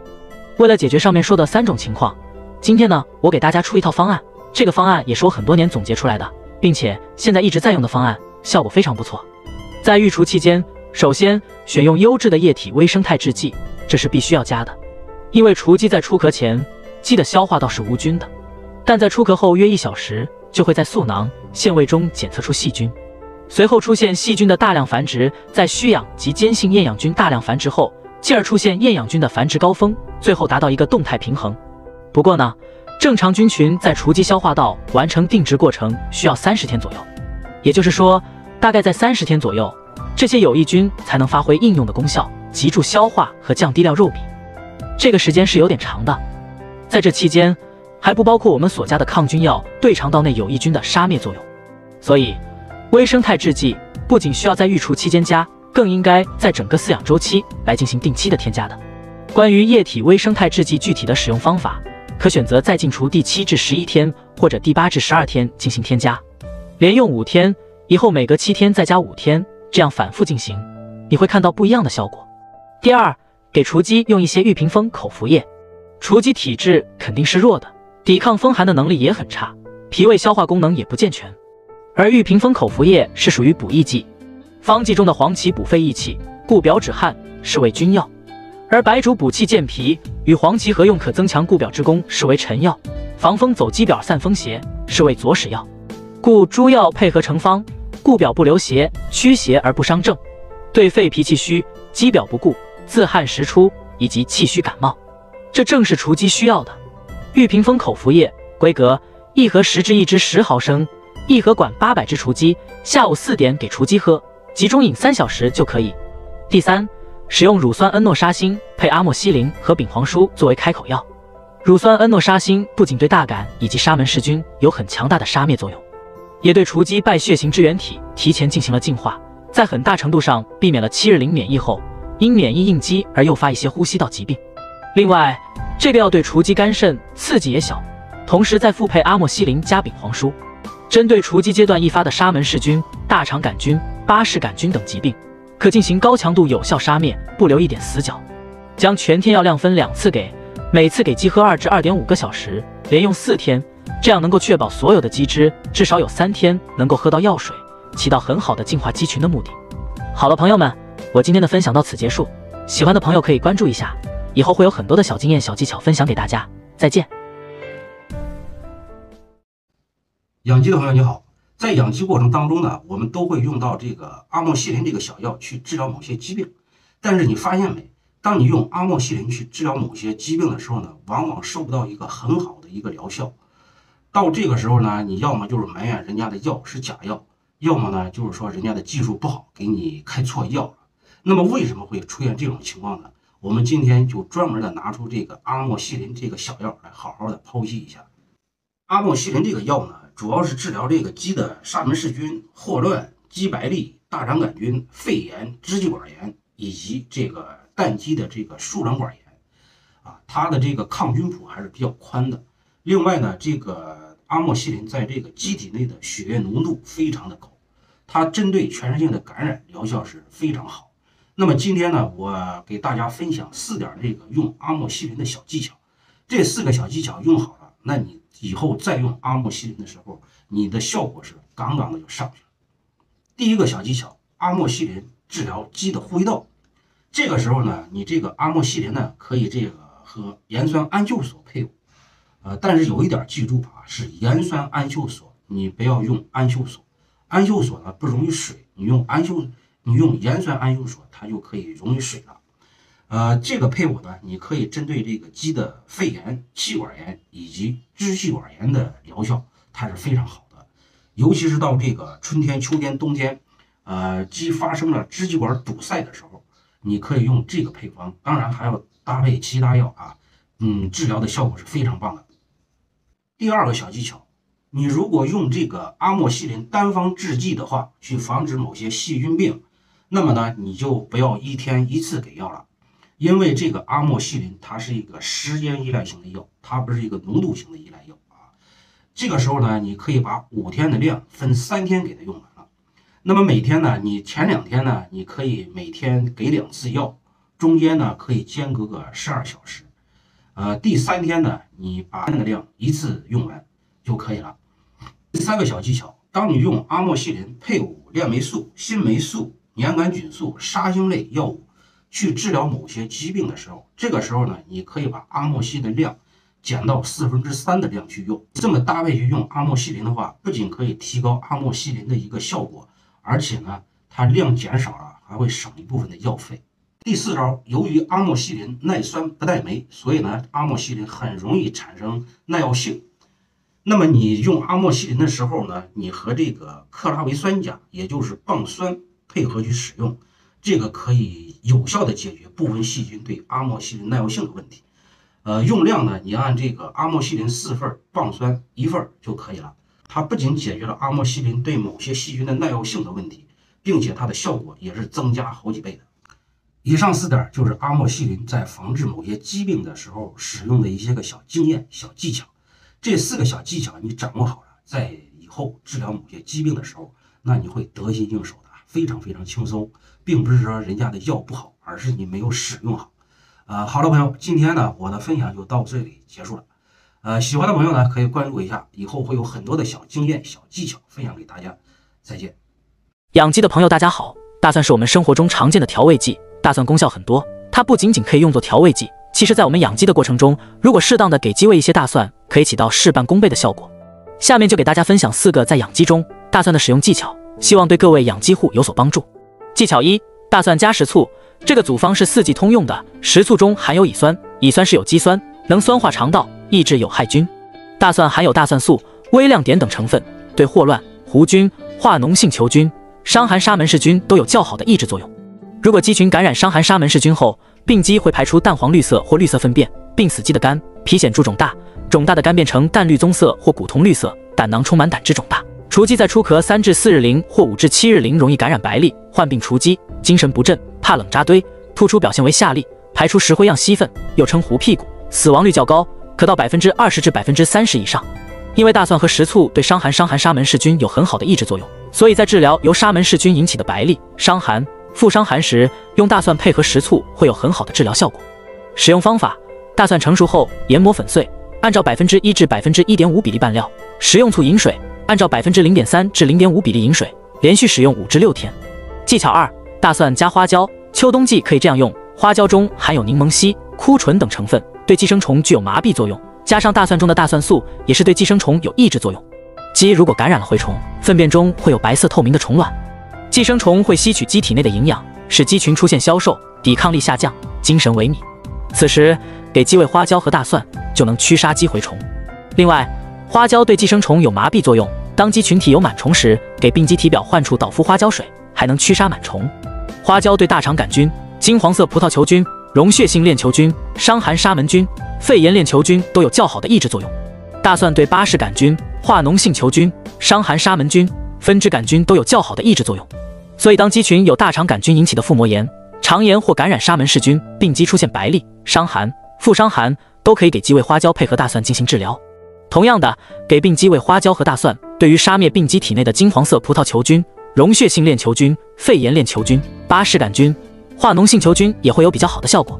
使用方法：花椒干燥成熟后，采收果实，晒干，除去种子，研磨粉碎；大蒜成熟后，通风晒干，捣碎生用。治疗时，花椒按照百分之零点五比例，大蒜按照百分之一比例拌料使用，连用四至五天。技巧三：大蒜加红糖。秋冬季可以用大蒜和红糖，性温，善散阴冷，温中止痛，能发散体表之寒。大蒜归脾胃经，理气开胃；红糖味甘，入脾。有健脾暖胃的作用。此外，大蒜能够促进胃液的分泌，帮助饲料消化。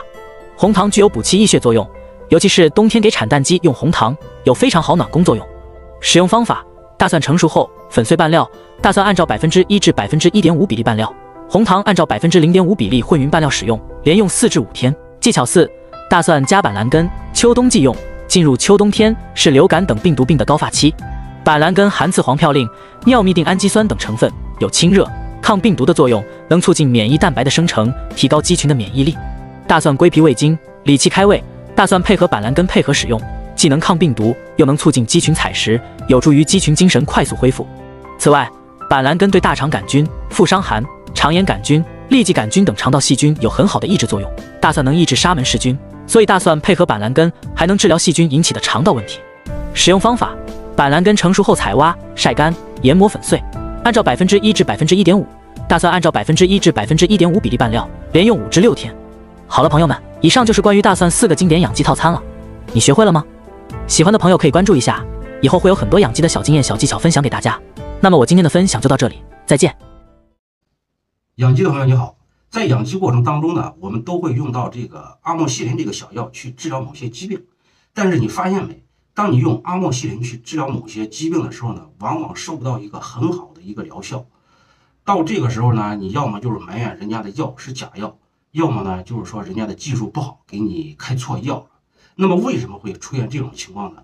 我们今天就专门的拿出这个阿莫西林这个小药来好好的剖析一下。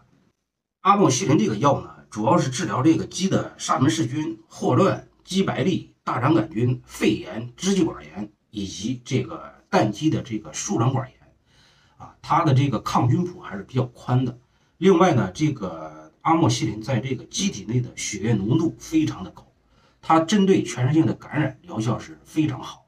那么今天呢，我给大家分享四点这个用阿莫西林的小技巧，这四个小技巧用好了，那你。以后再用阿莫西林的时候，你的效果是杠杠的就上去了。第一个小技巧，阿莫西林治疗鸡的呼吸道。这个时候呢，你这个阿莫西林呢，可以这个和盐酸氨溴索配伍。呃，但是有一点记住啊，是盐酸氨溴索，你不要用氨溴索。氨溴索呢不溶于水，你用氨溴，你用盐酸氨溴索，它就可以溶于水了。呃，这个配伍呢，你可以针对这个鸡的肺炎、气管炎以及支气管炎的疗效，它是非常好的。尤其是到这个春天、秋天、冬天，呃，鸡发生了支气管堵塞的时候，你可以用这个配方，当然还要搭配其他药啊，嗯，治疗的效果是非常棒的。第二个小技巧，你如果用这个阿莫西林单方制剂的话，去防止某些细菌病，那么呢，你就不要一天一次给药了。因为这个阿莫西林它是一个时间依赖型的药，它不是一个浓度型的依赖药啊。这个时候呢，你可以把五天的量分三天给它用完了。那么每天呢，你前两天呢，你可以每天给两次药，中间呢可以间隔个十二小时。呃，第三天呢，你把那个量一次用完就可以了。第三个小技巧，当你用阿莫西林配伍链霉素、新霉素、粘杆菌素、沙星类药物。去治疗某些疾病的时候，这个时候呢，你可以把阿莫西林量减到四分之三的量去用。这么搭配去用阿莫西林的话，不仅可以提高阿莫西林的一个效果，而且呢，它量减少了，还会省一部分的药费。第四招，由于阿莫西林耐酸不耐霉，所以呢，阿莫西林很容易产生耐药性。那么你用阿莫西林的时候呢，你和这个克拉维酸钾，也就是棒酸配合去使用。这个可以有效的解决部分细菌对阿莫西林耐药性的问题。呃，用量呢，你按这个阿莫西林四份，棒酸一份就可以了。它不仅解决了阿莫西林对某些细菌的耐药性的问题，并且它的效果也是增加好几倍的。以上四点就是阿莫西林在防治某些疾病的时候使用的一些个小经验、小技巧。这四个小技巧你掌握好了，在以后治疗某些疾病的时候，那你会得心应手，非常非常轻松。并不是说人家的药不好，而是你没有使用好。呃，好了，朋友，今天呢，我的分享就到这里结束了。呃，喜欢的朋友呢，可以关注一下，以后会有很多的小经验、小技巧分享给大家。再见。养鸡的朋友，大家好。大蒜是我们生活中常见的调味剂，大蒜功效很多，它不仅仅可以用作调味剂，其实在我们养鸡的过程中，如果适当的给鸡喂一些大蒜，可以起到事半功倍的效果。下面就给大家分享四个在养鸡中大蒜的使用技巧，希望对各位养鸡户有所帮助。技巧一：大蒜加食醋。这个组方是四季通用的，食醋中含有乙酸，乙酸是有机酸，能酸化肠道，抑制有害菌。大蒜含有大蒜素、微量碘等成分，对霍乱、弧菌、化脓性球菌、伤寒沙门氏菌都有较好的抑制作用。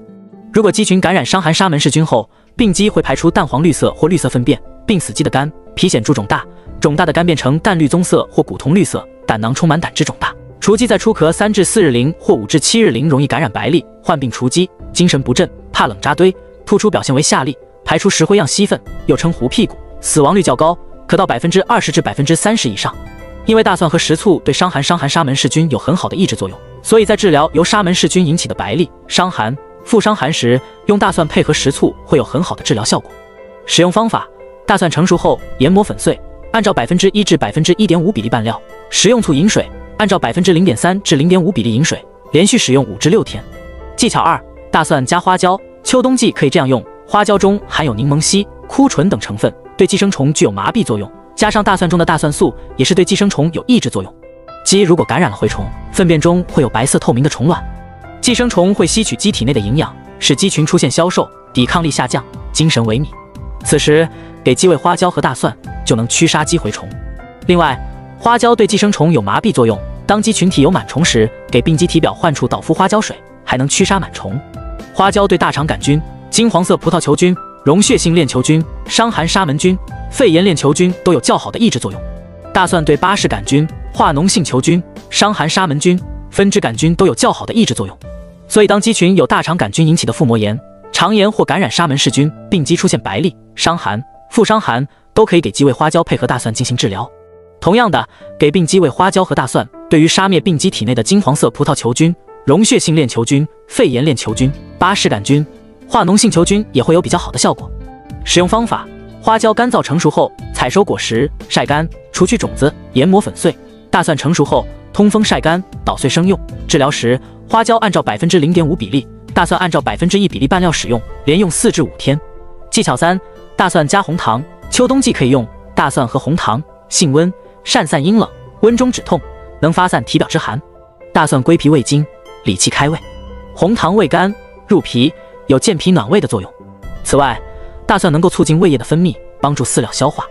红糖具有补气益血作用，尤其是冬天给产蛋鸡用红糖，有非常好暖宫作用。使用方法：大蒜成熟后粉碎拌料，大蒜按照百分之一至百分之一点五比例拌料，红糖按照百分之零点五比例混匀拌料使用，连用四至五天。技巧四：大蒜加板蓝根。秋冬季用，进入秋冬天是流感等病毒病的高发期。板蓝根含次黄嘌呤、尿嘧啶氨基酸等成分，有清热、抗病毒的作用，能促进免疫蛋白的生成，提高鸡群的免疫力。大蒜归脾胃经，理气开胃。大蒜配合板蓝根配合使用，既能抗病毒，又能促进鸡群采食，有助于鸡群精神快速恢复。此外，板蓝根对大肠杆菌、腹伤寒、肠炎杆菌、痢疾杆菌等肠道细菌有很好的抑制作用。大蒜能抑制沙门氏菌。所以大蒜配合板蓝根还能治疗细菌引起的肠道问题。使用方法：板蓝根成熟后采挖、晒干、研磨粉碎，按照百分之一至百分之一点五；大蒜按照百分之一至百分之一点五比例拌料，连用五至六天。好了，朋友们，以上就是关于大蒜四个经典养鸡套餐了。你学会了吗？喜欢的朋友可以关注一下，以后会有很多养鸡的小经验、小技巧分享给大家。那么我今天的分享就到这里，再见。养鸡的朋友你好。在养鸡过程当中呢，我们都会用到这个阿莫西林这个小药去治疗某些疾病。但是你发现没？当你用阿莫西林去治疗某些疾病的时候呢，往往收不到一个很好的一个疗效。到这个时候呢，你要么就是埋怨人家的药是假药，要么呢就是说人家的技术不好，给你开错药了。那么为什么会出现这种情况呢？我们今天就专门的拿出这个阿莫西林这个小药来好好的剖析一下。阿莫西林这个药呢？主要是治疗这个鸡的沙门氏菌、霍乱、鸡白痢、大肠杆菌、肺炎、支气管炎以及这个蛋鸡的这个输卵管炎，啊，它的这个抗菌谱还是比较宽的。另外呢，这个阿莫西林在这个鸡体内的血液浓度非常的高，它针对全身性的感染疗效是非常好。那么今天呢，我给大家分享四点这个用阿莫西林的小技巧，这四个小技巧用好了，那你。以后再用阿莫西林的时候，你的效果是杠杠的就上去了。第一个小技巧，阿莫西林治疗鸡的呼吸道。这个时候呢，你这个阿莫西林呢，可以这个和盐酸氨溴索配伍。呃，但是有一点记住啊，是盐酸氨溴索，你不要用氨溴索。氨溴索呢不溶于水，你用氨溴，你用盐酸氨溴索，它就可以溶于水了。呃，这个配伍呢，你可以针对这个鸡的肺炎、气管炎以及支气管炎的疗效，它是非常好的。尤其是到这个春天、秋天、冬天，呃，鸡发生了支气管堵塞的时候，你可以用这个配方。当然还要搭配其他药啊，嗯，治疗的效果是非常棒的。第二个小技巧，你如果用这个阿莫西林单方制剂的话，去防止某些细菌病，那么呢，你就不要一天一次给药了。因为这个阿莫西林它是一个时间依赖型的药，它不是一个浓度型的依赖药啊。这个时候呢，你可以把五天的量分三天给它用完了。那么每天呢，你前两天呢，你可以每天给两次药，中间呢可以间隔个十二小时。呃，第三天呢，你把那个量一次用完就可以了。第三个小技巧，当你用阿莫西林配伍链霉素、新霉素、粘杆菌素、沙星类药物去治疗某些疾病的时候，这个时候呢，你可以把阿莫西林量减到四分之三的量去用。这么搭配去用阿莫西林的话，不仅可以提高阿莫西林的一个效果，而且呢，它量减少了，还会省一部分的药费。第四招，由于阿莫西林耐酸不耐霉，所以呢，阿莫西林很容易产生耐药性。那么你用阿莫西林的时候呢，你和这个克拉维酸钾，也就是棒酸配合去使用，这个可以有效的解决部分细菌对阿莫西林耐药性的问题。呃，用量呢，你按这个阿莫西林四份，棒酸一份就可以了。它不仅解决了阿莫西林对某些细菌的耐药性的问题，并且它的效果也是增加好几倍的。以上四点就是阿莫西林在防治某些疾病的时候使用的一些个小经验、小技巧。这四个小技巧你掌握好了，在以后治疗某些疾病的时候，那你会得心应手的，非常非常轻松，并不是说人家的药不好，而是你没有使用好。呃，好了，朋友，今天呢我的分享就到这里结束了。呃，喜欢的朋友呢可以关注一下，以后会有很多的小经验、小技巧分享给大家。再见。养鸡的朋友大家好，大蒜是我们生活中常见的调味剂。大蒜功效很多，它不仅仅可以用作调味剂，其实在我们养鸡的过程中，如果适当的给鸡喂一些大蒜，可以起到事半功倍的效果。下面就给大家分享四个在养鸡中大蒜的使用技巧，希望对各位养鸡户有所帮助。技巧一：大蒜加食醋。这个组方是四季通用的，食醋中含有乙酸，乙酸是有机酸，能酸化肠道，抑制有害菌。大蒜含有大蒜素、微量碘等成分，对霍乱、弧菌、化脓性球菌、伤寒沙门氏菌都有较好的抑制作用。如果鸡群感染伤寒沙门氏菌后，病鸡会排出淡黄绿色或绿色粪便，病死鸡的肝皮显著肿大，肿大的肝变成淡绿棕色或古铜绿色，胆囊充满胆汁肿大。雏鸡在出壳三至四日龄或五至七日龄容易感染白痢，患病雏鸡，精神不振，怕冷扎堆，突出表现为下痢，排出石灰样稀粪，又称糊屁股，死亡率较高，可到百分之二十至百分之三十以上。因为大蒜和食醋对伤寒伤寒沙门氏菌有很好的抑制作用，所以在治疗由沙门氏菌引起的白痢、伤寒。腹伤寒时用大蒜配合食醋会有很好的治疗效果。使用方法：大蒜成熟后研磨粉碎，按照百分之一至百分之一点五比例拌料，食用醋饮水，按照百分之零点三至零点五比例饮水，连续使用五至六天。技巧二：大蒜加花椒。秋冬季可以这样用：花椒中含有柠檬烯、枯醇等成分，对寄生虫具有麻痹作用，加上大蒜中的大蒜素，也是对寄生虫有抑制作用。鸡如果感染了蛔虫，粪便中会有白色透明的虫卵。寄生虫会吸取鸡体内的营养，使鸡群出现消瘦、抵抗力下降、精神萎靡。此时给鸡喂花椒和大蒜，就能驱杀鸡蛔虫。另外，花椒对寄生虫有麻痹作用。当鸡群体有螨虫时，给病鸡体表患处捣敷花椒水，还能驱杀螨虫。花椒对大肠杆菌、金黄色葡萄球菌、溶血性链球菌、伤寒沙门菌、肺炎链球菌都有较好的抑制作用。大蒜对巴氏杆菌、化脓性球菌、伤寒沙门菌、分支杆菌都有较好的抑制作用。所以，当鸡群有大肠杆菌引起的腹膜炎、肠炎或感染沙门氏菌，病鸡出现白痢、伤寒、腹伤寒，都可以给鸡喂花椒配合大蒜进行治疗。同样的，给病鸡喂花椒和大蒜，对于杀灭病鸡体内的金黄色葡萄球菌、溶血性链球菌、肺炎链球菌、巴氏杆菌、化脓性球菌也会有比较好的效果。使用方法：花椒干燥成熟后，采收果实，晒干，除去种子，研磨粉碎；大蒜成熟后，通风晒干，捣碎生用。治疗时。花椒按照百分之零点五比例，大蒜按照百分之一比例拌料使用，连用四至五天。技巧三：大蒜加红糖。秋冬季可以用大蒜和红糖，性温，善散阴冷，温中止痛，能发散体表之寒。大蒜归脾胃经，理气开胃；红糖味甘，入脾，有健脾暖胃的作用。此外，大蒜能够促进胃液的分泌，帮助饲料消化。红糖具有补气益血作用，尤其是冬天给产蛋鸡用红糖，有非常好暖宫作用。使用方法。大蒜成熟后粉碎拌料，大蒜按照百分之一至百分之一点五比例拌料，红糖按照百分之零点五比例混匀拌料使用，连用四至五天。技巧四：大蒜加板蓝根，秋冬季用。进入秋冬天是流感等病毒病的高发期，板蓝根含次黄嘌呤、尿嘧啶氨基酸等成分，有清热、抗病毒的作用，能促进免疫蛋白的生成，提高鸡群的免疫力。大蒜归脾胃经，理气开胃，大蒜配合板蓝根配合使用。既能抗病毒，又能促进鸡群采食，有助于鸡群精神快速恢复。此外，板蓝根对大肠杆菌、腹伤寒、肠炎杆菌、痢疾杆菌等肠道细菌有很好的抑制作用。大蒜能抑制沙门氏菌，所以大蒜配合板蓝根还能治疗细菌引起的肠道问题。使用方法：板蓝根成熟后采挖、晒干、研磨粉碎，按照百分之一至百分之一点五，大蒜按照百分之一至百分之一点五比例拌料，连用五至六天。好了，朋友们，以上就是关于大蒜四个经典养鸡套餐了，你学会了吗？喜欢的朋友可以关注一下，以后会有很多养鸡的小经验、小技巧分享给大家。那么我今天的分享就到这里，再见。养鸡的朋友大家好，昨天给大家分享了育雏怎么样提高成活率的技巧，很多粉丝看过后都问我开口药应该怎么用，以及用什么成分的药比较好。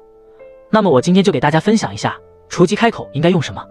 我们首先要搞清楚，给雏鸡用开口药需要解决什么问题？为什么要用开口药？第一，用开口药目的是净化鸡苗因各种应激所造成的支原体、大肠杆菌以及沙门氏菌早期感染的问题。第二，快速的建立鸡群肠道有益菌群，这个问题不解决好，鸡群很容易出现拉尿粪、粪便稀薄的现象。很可惜，目前大部分养殖户都没有考虑这个问题。第三，使用开口药是为了增强雏鸡抗病能力，主要是培养雏鸡的体质。很多养护都会使用黄芪多糖来提升雏鸡抗病力，其实真正正品的黄芪多糖很难找到，效果呢可想而知。为了解决上面说的三种情况，今天呢我给大家出一套方案，这个方案也是我很多年总结出来的，并且现在一直在用的方案，效果非常不错。在育雏期间，首先选用优质的液体微生态制剂，这是必须要加的。因为雏鸡在出壳前，鸡的消化道是无菌的，但在出壳后约一小时，就会在嗉囊、腺胃中检测出细菌，随后出现细菌的大量繁殖，在需氧及间性厌氧菌大量繁殖后，进而出现厌氧菌的繁殖高峰，最后达到一个动态平衡。不过呢，正常菌群在雏鸡消化道完成定植过程需要三十天左右，也就是说，大概在三十天左右，这些有益菌才能发挥应用的功效，急助消化和降低料肉比。这个时间是有点长的，在这期间还不包括我们所加的抗菌药对肠道内有益菌的杀灭作用，所以微生态制剂不仅需要在育雏期间加，更应该在整个饲养周期来进行定期的添加的。关于液体微生态制剂具体的使用方法，可选择在进雏第七至十一天或者第八至十二天进行添加，连用五天以后每隔七天再加五天，这样反复进行，你会看到不一样的效果。第二。给雏鸡用一些玉屏风口服液，雏鸡体质肯定是弱的，抵抗风寒的能力也很差，脾胃消化功能也不健全。而玉屏风口服液是属于补益剂，方剂中的黄芪补肺益气、固表止汗，是为君药；而白术补气健脾，与黄芪合用可增强固表之功，是为臣药；防风走鸡表散风邪，是为佐使药。故诸药配合成方，固表不留邪，驱邪而不伤正，对肺脾气虚、鸡表不固。自汗时出以及气虚感冒，这正是雏鸡需要的。玉屏风口服液规格：一盒十支，一支十毫升，一盒管八百只雏鸡。下午四点给雏鸡喝，集中饮三小时就可以。第三，使用乳酸恩诺沙星配阿莫西林和丙黄舒作为开口药。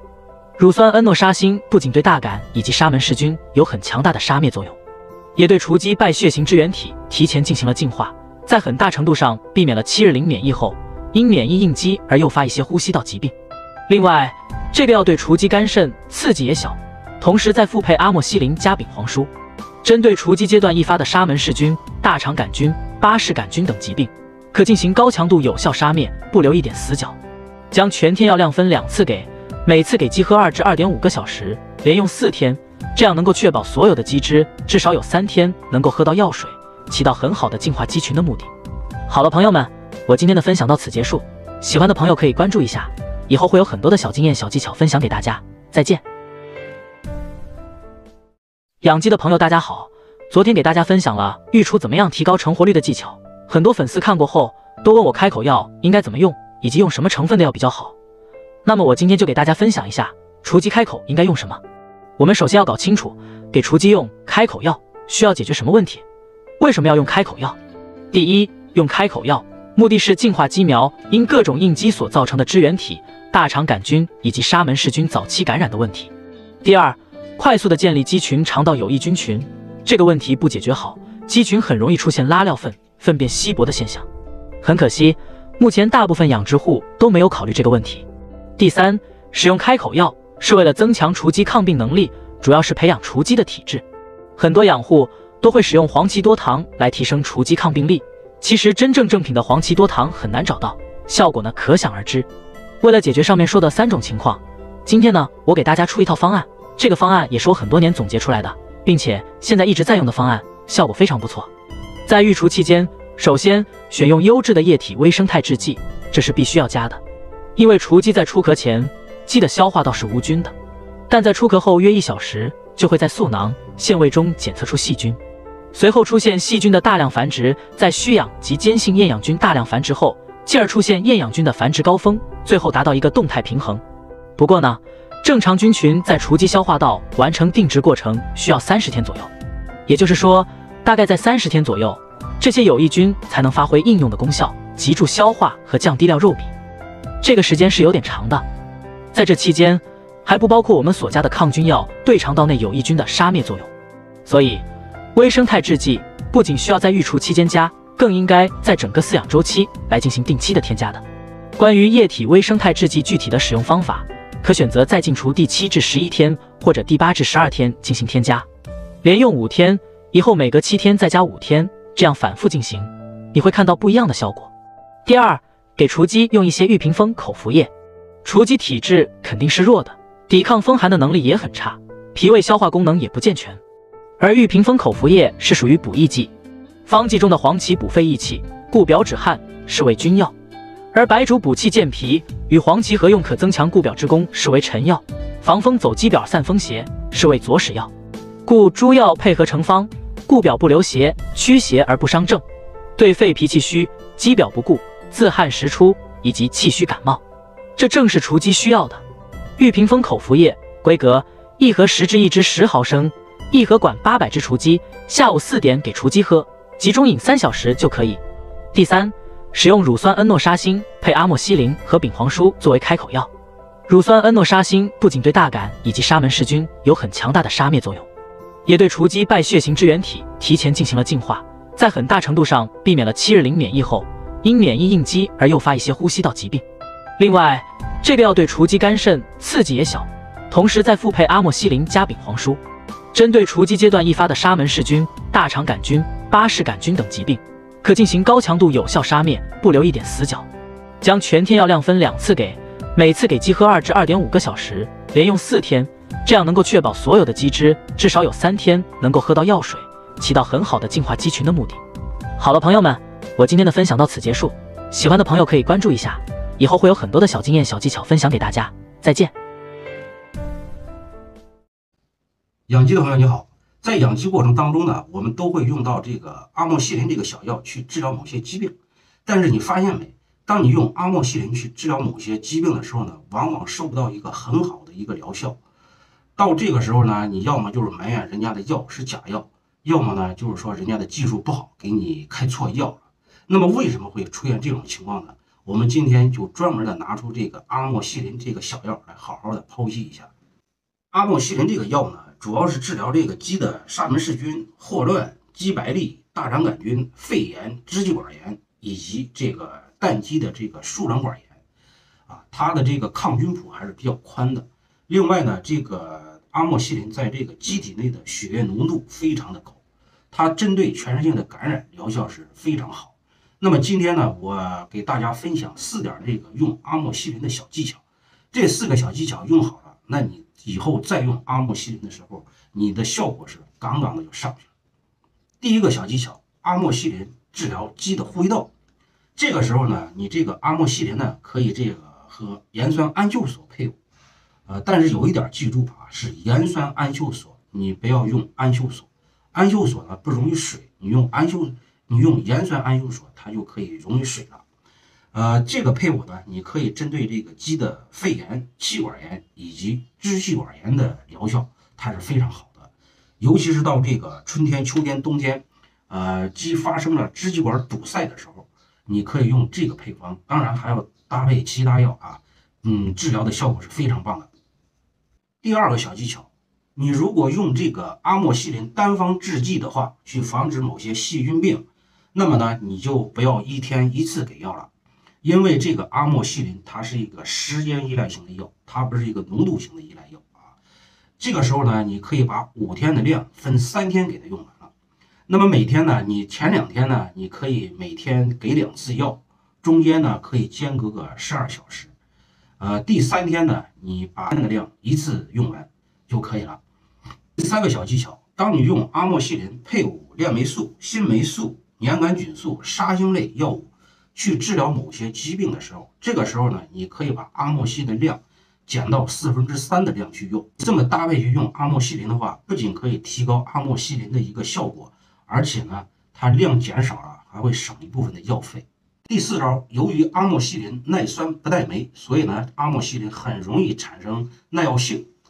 那么你用阿莫西林的时候呢，你和这个克拉维酸钾，也就是棒酸配合去使用，这个可以有效的解决部分细菌对阿莫西林耐药性的问题。呃，用量呢，你按这个阿莫西林四份，棒酸一份就可以了。它不仅解决了阿莫西林对某些细菌的耐药性的问题，并且它的效果也是增加好几倍的。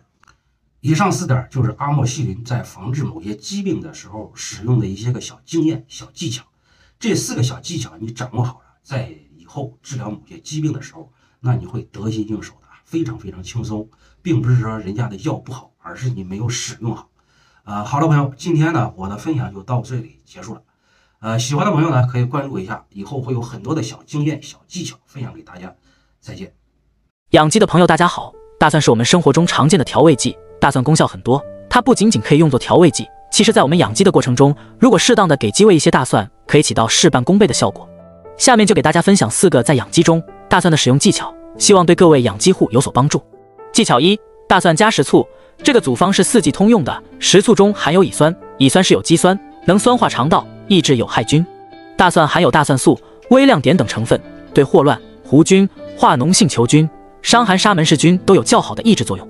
如果鸡群感染伤寒沙门氏菌后，病鸡会排出淡黄绿色或绿色粪便，病死鸡的肝皮显猪肿大，肿大的肝变成淡绿棕色或古铜绿色，胆囊充满胆汁肿大。雏鸡在出壳三至四日龄或五至七日龄容易感染白痢，患病雏鸡精神不振，怕冷扎堆，突出表现为下痢，排出石灰样稀粪，又称糊屁股，死亡率较高，可到百分之二十至百分之三十以上。因为大蒜和食醋对伤寒伤寒沙门氏菌有很好的抑制作用，所以在治疗由沙门氏菌引起的白痢、伤寒。腹伤寒时，用大蒜配合食醋会有很好的治疗效果。使用方法：大蒜成熟后研磨粉碎，按照百分之一至百分之一点五比例拌料；食用醋饮水，按照百分之零点三至零点五比例饮水，连续使用五至六天。技巧二：大蒜加花椒。秋冬季可以这样用：花椒中含有柠檬烯、枯醇等成分，对寄生虫具有麻痹作用，加上大蒜中的大蒜素，也是对寄生虫有抑制作用。鸡如果感染了蛔虫，粪便中会有白色透明的虫卵。寄生虫会吸取鸡体内的营养，使鸡群出现消瘦、抵抗力下降、精神萎靡。此时给鸡喂花椒和大蒜，就能驱杀鸡蛔虫。另外，花椒对寄生虫有麻痹作用。当鸡群体有螨虫时，给病鸡体表患处捣敷花椒水，还能驱杀螨虫。花椒对大肠杆菌、金黄色葡萄球菌、溶血性链球菌、伤寒沙门菌、肺炎链球菌都有较好的抑制作用。大蒜对巴氏杆菌、化脓性球菌、伤寒沙门菌、分支杆菌都有较好的抑制作用。所以，当鸡群有大肠杆菌引起的腹膜炎、肠炎或感染沙门氏菌，病鸡出现白痢、伤寒、腹伤寒，都可以给鸡喂花椒配合大蒜进行治疗。同样的，给病鸡喂花椒和大蒜，对于杀灭病鸡体内的金黄色葡萄球菌、溶血性链球菌、肺炎链球菌、巴氏杆菌、化脓性球菌也会有比较好的效果。使用方法：花椒干燥成熟后，采收果实，晒干，除去种子，研磨粉碎；大蒜成熟后，通风晒干，捣碎生用。治疗时。花椒按照百分之零点五比例，大蒜按照百分之一比例拌料使用，连用四至五天。技巧三：大蒜加红糖。秋冬季可以用大蒜和红糖，性温，善散阴冷，温中止痛，能发散体表之寒。大蒜归脾胃经，理气开胃；红糖味甘，入脾，有健脾暖胃的作用。此外，大蒜能够促进胃液的分泌，帮助饲料消化。红糖具有补气益血作用，尤其是冬天给产蛋鸡用红糖，有非常好暖宫作用。使用方法。大蒜成熟后粉碎拌料，大蒜按照百分之一至百分之一点五比例拌料，红糖按照百分之零点五比例混匀拌料使用，连用四至五天。技巧四：大蒜加板蓝根，秋冬季用。进入秋冬天是流感等病毒病的高发期，板蓝根含次黄嘌呤、尿嘧啶氨基酸等成分，有清热、抗病毒的作用，能促进免疫蛋白的生成，提高鸡群的免疫力。大蒜归脾胃经，理气开胃，大蒜配合板蓝根配合使用。既能抗病毒，又能促进鸡群采食，有助于鸡群精神快速恢复。此外，板蓝根对大肠杆菌、腹伤寒、肠炎杆菌、痢疾杆菌等肠道细菌有很好的抑制作用。大蒜能抑制沙门氏菌，所以大蒜配合板蓝根还能治疗细菌引起的肠道问题。使用方法：板蓝根成熟后采挖、晒干、研磨粉碎，按照百分之一至百分之一点五；大蒜按照百分之一至百分之一点五比例拌料，连用五至六天。好了，朋友们，以上就是关于大蒜四个经典养鸡套餐了，你学会了吗？喜欢的朋友可以关注一下，以后会有很多养鸡的小经验、小技巧分享给大家。那么我今天的分享就到这里，再见。养鸡的朋友你好，在养鸡过程当中呢，我们都会用到这个阿莫西林这个小药去治疗某些疾病。但是你发现没？当你用阿莫西林去治疗某些疾病的时候呢，往往收不到一个很好的一个疗效。到这个时候呢，你要么就是埋怨人家的药是假药，要么呢就是说人家的技术不好，给你开错药了。那么为什么会出现这种情况呢？我们今天就专门的拿出这个阿莫西林这个小药来好好的剖析一下。阿莫西林这个药呢。主要是治疗这个鸡的沙门氏菌、霍乱、鸡白痢、大肠杆菌、肺炎、支气管炎以及这个蛋鸡的这个输卵管炎，啊，它的这个抗菌谱还是比较宽的。另外呢，这个阿莫西林在这个鸡体内的血液浓度非常的高，它针对全身性的感染疗效是非常好。那么今天呢，我给大家分享四点这个用阿莫西林的小技巧，这四个小技巧用好了，那你。以后再用阿莫西林的时候，你的效果是杠杠的就上去了。第一个小技巧，阿莫西林治疗鸡的呼吸道。这个时候呢，你这个阿莫西林呢，可以这个和盐酸氨溴索配伍。呃，但是有一点记住啊，是盐酸氨溴索，你不要用氨溴索。氨溴索呢不溶于水，你用氨溴，你用盐酸氨溴索，它就可以溶于水了。呃，这个配伍呢，你可以针对这个鸡的肺炎、气管炎以及支气管炎的疗效，它是非常好的。尤其是到这个春天、秋天、冬天，呃，鸡发生了支气管堵塞的时候，你可以用这个配方，当然还要搭配其他药啊，嗯，治疗的效果是非常棒的。第二个小技巧，你如果用这个阿莫西林单方制剂的话，去防止某些细菌病，那么呢，你就不要一天一次给药了。因为这个阿莫西林它是一个时间依赖型的药，它不是一个浓度型的依赖药啊。这个时候呢，你可以把五天的量分三天给它用完了。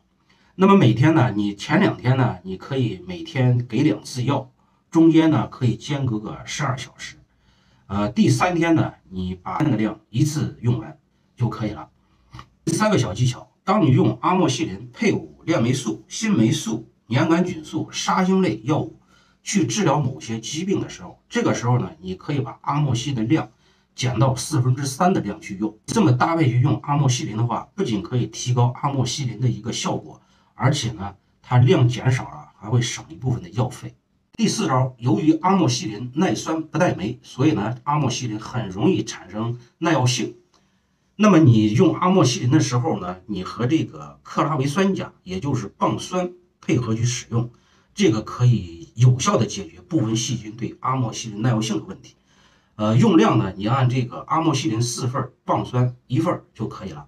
它不仅解决了阿莫西林对某些细菌的耐药性的问题，并且它的效果也是增加好几倍的。以上四点就是阿莫西林在防治某些疾病的时候使用的一些个小经验、小技巧。这四个小技巧你掌握好了，在以后治疗某些疾病的时候，那你会得心应手，非常非常轻松。并不是说人家的药不好，而是你没有使用好。呃，好了，朋友，今天呢，我的分享就到这里结束了。呃，喜欢的朋友呢，可以关注一下，以后会有很多的小经验、小技巧分享给大家。再见。养鸡的朋友，大家好。大蒜是我们生活中常见的调味剂，大蒜功效很多，它不仅仅可以用作调味剂，其实在我们养鸡的过程中，如果适当的给鸡喂一些大蒜，可以起到事半功倍的效果。下面就给大家分享四个在养鸡中大蒜的使用技巧，希望对各位养鸡户有所帮助。技巧一：大蒜加食醋。这个组方是四季通用的，食醋中含有乙酸，乙酸是有机酸，能酸化肠道，抑制有害菌。大蒜含有大蒜素、微量碘等成分，对霍乱、弧菌、化脓性球菌、伤寒沙门氏菌都有较好的抑制作用。如果鸡群感染伤寒沙门氏菌后，病鸡会排出淡黄绿色或绿色粪便，病死鸡的肝皮显著肿大，肿大的肝变成淡绿棕色或古铜绿色，胆囊充满胆汁肿大。雏鸡在出壳三至四日龄或五至七日龄容易感染白痢，患病雏鸡，精神不振，怕冷扎堆，突出表现为下痢，排出石灰样稀粪，又称糊屁股，死亡率较高，可到百分之二十至百分之三十以上。因为大蒜和食醋对伤寒伤寒沙门氏菌有很好的抑制作用，所以在治疗由沙门氏菌引起的白痢、伤寒、腹伤寒时，用大蒜配合食醋会有很好的治疗效果。使用方法：大蒜成熟后研磨粉碎，按照百分之一至百分之一点五比例拌料，食用醋饮水，按照百分之零点三至零点五比例饮水，连续使用五至六天。技巧二：大蒜加花椒，秋冬季可以这样用。花椒中含有柠檬烯、枯醇等成分，对寄生虫具有麻痹作用。加上大蒜中的大蒜素，也是对寄生虫有抑制作用。鸡如果感染了蛔虫，粪便中会有白色透明的虫卵，寄生虫会吸取鸡体内的营养，使鸡群出现消瘦、抵抗力下降、精神萎靡。此时给鸡喂花椒和大蒜，就能驱杀鸡蛔虫。另外，花椒对寄生虫有麻痹作用，当鸡群体有螨虫时，给病鸡体表患处导敷花椒水，还能驱杀螨虫。花椒对大肠杆菌、金黄色葡萄球菌、溶血性链球菌、伤寒沙门菌。肺炎链球菌都有较好的抑制作用，大蒜对巴氏杆菌、化脓性球菌、伤寒沙门菌、分支杆菌都有较好的抑制作用。所以，当鸡群有大肠杆菌引起的腹膜炎、肠炎或感染沙门氏菌，病鸡出现白痢、伤寒、腹伤寒，都可以给鸡喂花椒配合大蒜进行治疗。同样的，给病鸡喂花椒和大蒜，对于杀灭病鸡体内的金黄色葡萄球菌、溶血性链球菌、肺炎链球菌、巴氏杆菌、化脓性球菌也会有比较好的效果。使用方法。花椒干燥成熟后，采收果实，晒干，除去种子，研磨粉碎。大蒜成熟后，通风晒干，捣碎生用。治疗时，花椒按照百分之零点五比例，大蒜按照百分之一比例拌料使用，连用四至五天。技巧三：大蒜加红糖。秋冬季可以用大蒜和红糖，性温，善散阴冷，温中止痛，能发散体表之寒。大蒜归脾胃经，理气开胃；红糖味甘，入脾，有健脾暖胃的作用。此外，大蒜能够促进胃液的分泌，帮助饲料消化。红糖具有补气益血作用，尤其是冬天给产蛋鸡用红糖，有非常好暖宫作用。使用方法：大蒜成熟后粉碎拌料，大蒜按照百分之一至百分之一点五比例拌料，红糖按照百分之零点五比例混匀拌料使用，连用四至五天。技巧四：大蒜加板蓝根，秋冬季用。进入秋冬天是流感等病毒病的高发期，板蓝根含次黄嘌呤、尿嘧啶氨基酸等成分，有清热。抗病毒的作用能促进免疫蛋白的生成，提高鸡群的免疫力。大蒜归脾胃经，理气开胃。大蒜配合板蓝根配合使用，既能抗病毒，又能促进鸡群采食，有助于鸡群精神快速恢复。此外，板蓝根对大肠杆菌、腹伤寒、肠炎杆菌、痢疾杆菌等肠道细菌有很好的抑制作用。大蒜能抑制沙门氏菌，所以大蒜配合板蓝根还能治疗细菌引起的肠道问题。使用方法：板蓝根成熟后采挖、晒干、研磨粉碎。按照百分之一至百分之一点五，大蒜按照百分之一至百分之一点五比例拌料，连用五至六天。好了，朋友们，以上就是关于大蒜四个经典养鸡套餐了，你学会了吗？喜欢的朋友可以关注一下，以后会有很多养鸡的小经验、小技巧分享给大家。那么我今天的分享就到这里，再见。养鸡的朋友大家好，昨天给大家分享了育雏怎么样提高成活率的技巧，很多粉丝看过后都问我开口药应该怎么用，以及用什么成分的药比较好。那么我今天就给大家分享一下雏鸡开口应该用什么。我们首先要搞清楚，给雏鸡用开口药需要解决什么问题？为什么要用开口药？第一，用开口药目的是净化鸡苗因各种应激所造成的支原体、大肠杆菌以及沙门氏菌早期感染的问题。第二，快速的建立鸡群肠道有益菌群，这个问题不解决好，鸡群很容易出现拉尿粪、粪便稀薄的现象。很可惜，目前大部分养殖户都没有考虑这个问题。第三，使用开口药。是为了增强雏鸡抗病能力，主要是培养雏鸡的体质。很多养护都会使用黄芪多糖来提升雏鸡抗病力，其实真正正品的黄芪多糖很难找到，效果呢可想而知。为了解决上面说的三种情况，今天呢我给大家出一套方案，这个方案也是我很多年总结出来的，并且现在一直在用的方案，效果非常不错。在育雏期间，首先选用优质的液体微生态制剂，这是必须要加的，因为雏鸡在出壳前。鸡的消化道是无菌的，但在出壳后约一小时，就会在嗉囊、腺胃中检测出细菌，随后出现细菌的大量繁殖，在需氧及间性厌氧菌大量繁殖后，进而出现厌氧菌的繁殖高峰，最后达到一个动态平衡。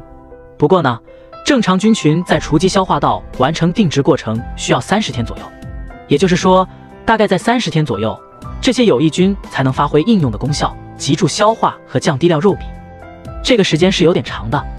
在这期间，还不包括我们所加的抗菌药对肠道内有益菌的杀灭作用。所以，微生态制剂不仅需要在育雏期间加，更应该在整个饲养周期来进行定期的添加的。关于液体微生态制剂具体的使用方法，可选择在进除第七至十一天或者第八至十二天进行添加，连用五天以后，每隔七天再加五天，这样反复进行，你会看到不一样的效果。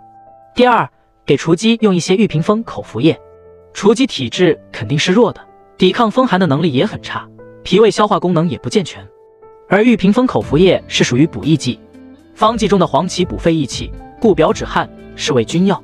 而白术补气健脾，与黄芪合用可增强固表之功，是为臣药；防风走肌表散风邪，是为佐使药。故诸药配合成方，固表不流邪，驱邪而不伤正，对肺脾气虚、肌表不固、自汗时出以及气虚感冒，这正是雏鸡需要的。玉屏风口服液规格：一盒十支，一支十毫升，一盒管八百只雏鸡，下午四点给雏鸡喝，集中饮三小时就可以。第三。使用乳酸恩诺沙星配阿莫西林和丙黄舒作为开口药。乳酸恩诺沙星不仅对大感以及沙门氏菌有很强大的杀灭作用，也对雏鸡败血型支原体提前进行了净化，在很大程度上避免了七日龄免疫后因免疫应激而诱发一些呼吸道疾病。另外，这个药对雏鸡肝肾刺激也小，同时再复配阿莫西林加丙黄舒，针对雏鸡阶段易发的沙门氏菌、大肠杆菌、巴氏杆菌等疾病。可进行高强度有效杀灭，不留一点死角。将全天药量分两次给，每次给鸡喝二至二点五个小时，连用四天，这样能够确保所有的鸡只至少有三天能够喝到药水，起到很好的净化鸡群的目的。好了，朋友们，我今天的分享到此结束。喜欢的朋友可以关注一下，以后会有很多的小经验、小技巧分享给大家。再见。养鸡的朋友你好。在养鸡过程当中呢，我们都会用到这个阿莫西林这个小药去治疗某些疾病。但是你发现没？当你用阿莫西林去治疗某些疾病的时候呢，往往收不到一个很好的一个疗效。到这个时候呢，你要么就是埋怨人家的药是假药，要么呢就是说人家的技术不好，给你开错药了。那么为什么会出现这种情况呢？我们今天就专门的拿出这个阿莫西林这个小药来好好的剖析一下。阿莫西林这个药呢？主要是治疗这个鸡的沙门氏菌、霍乱、鸡白痢、大肠杆菌、肺炎、支气管炎以及这个蛋鸡的这个输卵管炎，啊，它的这个抗菌谱还是比较宽的。另外呢，这个阿莫西林在这个机体内的血液浓度非常的高，它针对全身性的感染疗效是非常好。那么今天呢，我给大家分享四点这个用阿莫西林的小技巧，这四个小技巧用好了，那你。以后再用阿莫西林的时候，你的效果是杠杠的就上去了。第一个小技巧，阿莫西林治疗鸡的呼吸道。这个时候呢，你这个阿莫西林呢，可以这个和盐酸氨溴索配伍。呃，但是有一点记住啊，是盐酸氨溴索，你不要用氨溴索。氨溴索呢不溶于水，你用氨溴，你用盐酸氨溴索，它就可以溶于水了。呃，这个配伍呢，你可以针对这个鸡的肺炎、气管炎以及支气管炎的疗效，它是非常好的。尤其是到这个春天、秋天、冬天，呃，鸡发生了支气管堵塞的时候，你可以用这个配方，当然还要搭配其他药啊，嗯，治疗的效果是非常棒的。第二个小技巧，你如果用这个阿莫西林单方制剂的话，去防止某些细菌病，那么呢，你就不要一天一次给药了。因为这个阿莫西林它是一个时间依赖型的药，它不是一个浓度型的依赖药啊。这个时候呢，你可以把五天的量分三天给它用完了。那么每天呢，你前两天呢，你可以每天给两次药，中间呢可以间隔个十二小时。呃，第三天呢，你把那个量一次用完就可以了。第三个小技巧，当你用阿莫西林配伍链霉素、新霉素、粘杆菌素、沙星类药物。去治疗某些疾病的时候，这个时候呢，你可以把阿莫西林量减到四分之三的量去用。这么搭配去用阿莫西林的话，不仅可以提高阿莫西林的一个效果，而且呢，它量减少了，还会省一部分的药费。第四招，由于阿莫西林耐酸不耐酶，所以呢，阿莫西林很容易产生耐药性。那么你用阿莫西林的时候呢，你和这个克拉维酸钾，也就是棒酸配合去使用。这个可以有效的解决部分细菌对阿莫西林耐药性的问题。呃，用量呢，你按这个阿莫西林四份，棒酸一份就可以了。它不仅解决了阿莫西林对某些细菌的耐药性的问题，并且它的效果也是增加好几倍的。以上四点就是阿莫西林在防治某些疾病的时候使用的一些个小经验、小技巧。这四个小技巧你掌握好了，在以后治疗某些疾病的时候，那你会得心应手的，非常非常轻松，并不是说人家的药不好，而是你没有使用好。呃，好了，朋友，今天呢，我的分享就到这里结束了。呃，喜欢的朋友呢，可以关注一下，以后会有很多的小经验、小技巧分享给大家。再见。养鸡的朋友，大家好。大蒜是我们生活中常见的调味剂，大蒜功效很多，它不仅仅可以用作调味剂，其实在我们养鸡的过程中，如果适当的给鸡喂一些大蒜，可以起到事半功倍的效果。下面就给大家分享四个在养鸡中大蒜的使用技巧，希望对各位养鸡户有所帮助。技巧一：大蒜加食醋。这个组方是四季通用的，食醋中含有乙酸，乙酸是有机酸，能酸化肠道，抑制有害菌。大蒜含有大蒜素、微量碘等成分，对霍乱、弧菌、化脓性球菌。伤寒沙门氏菌都有较好的抑制作用。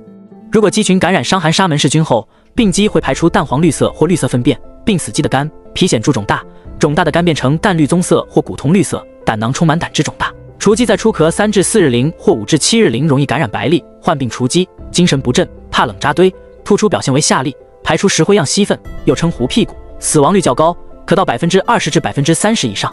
因为大蒜和食醋对伤寒伤寒沙门氏菌有很好的抑制作用。所以在治疗由沙门氏菌引起的白痢、伤寒、副伤寒时，用大蒜配合食醋会有很好的治疗效果。使用方法：大蒜成熟后研磨粉碎，按照百分之一至百分之一点五比例拌料，食用醋饮水，按照百分之零点三至零点五比例饮水，连续使用五至六天。技巧二：大蒜加花椒。秋冬季可以这样用：花椒中含有柠檬烯、枯醇等成分，对寄生虫具有麻痹作用，加上大蒜中的大蒜素，也是对寄生虫有抑制作用。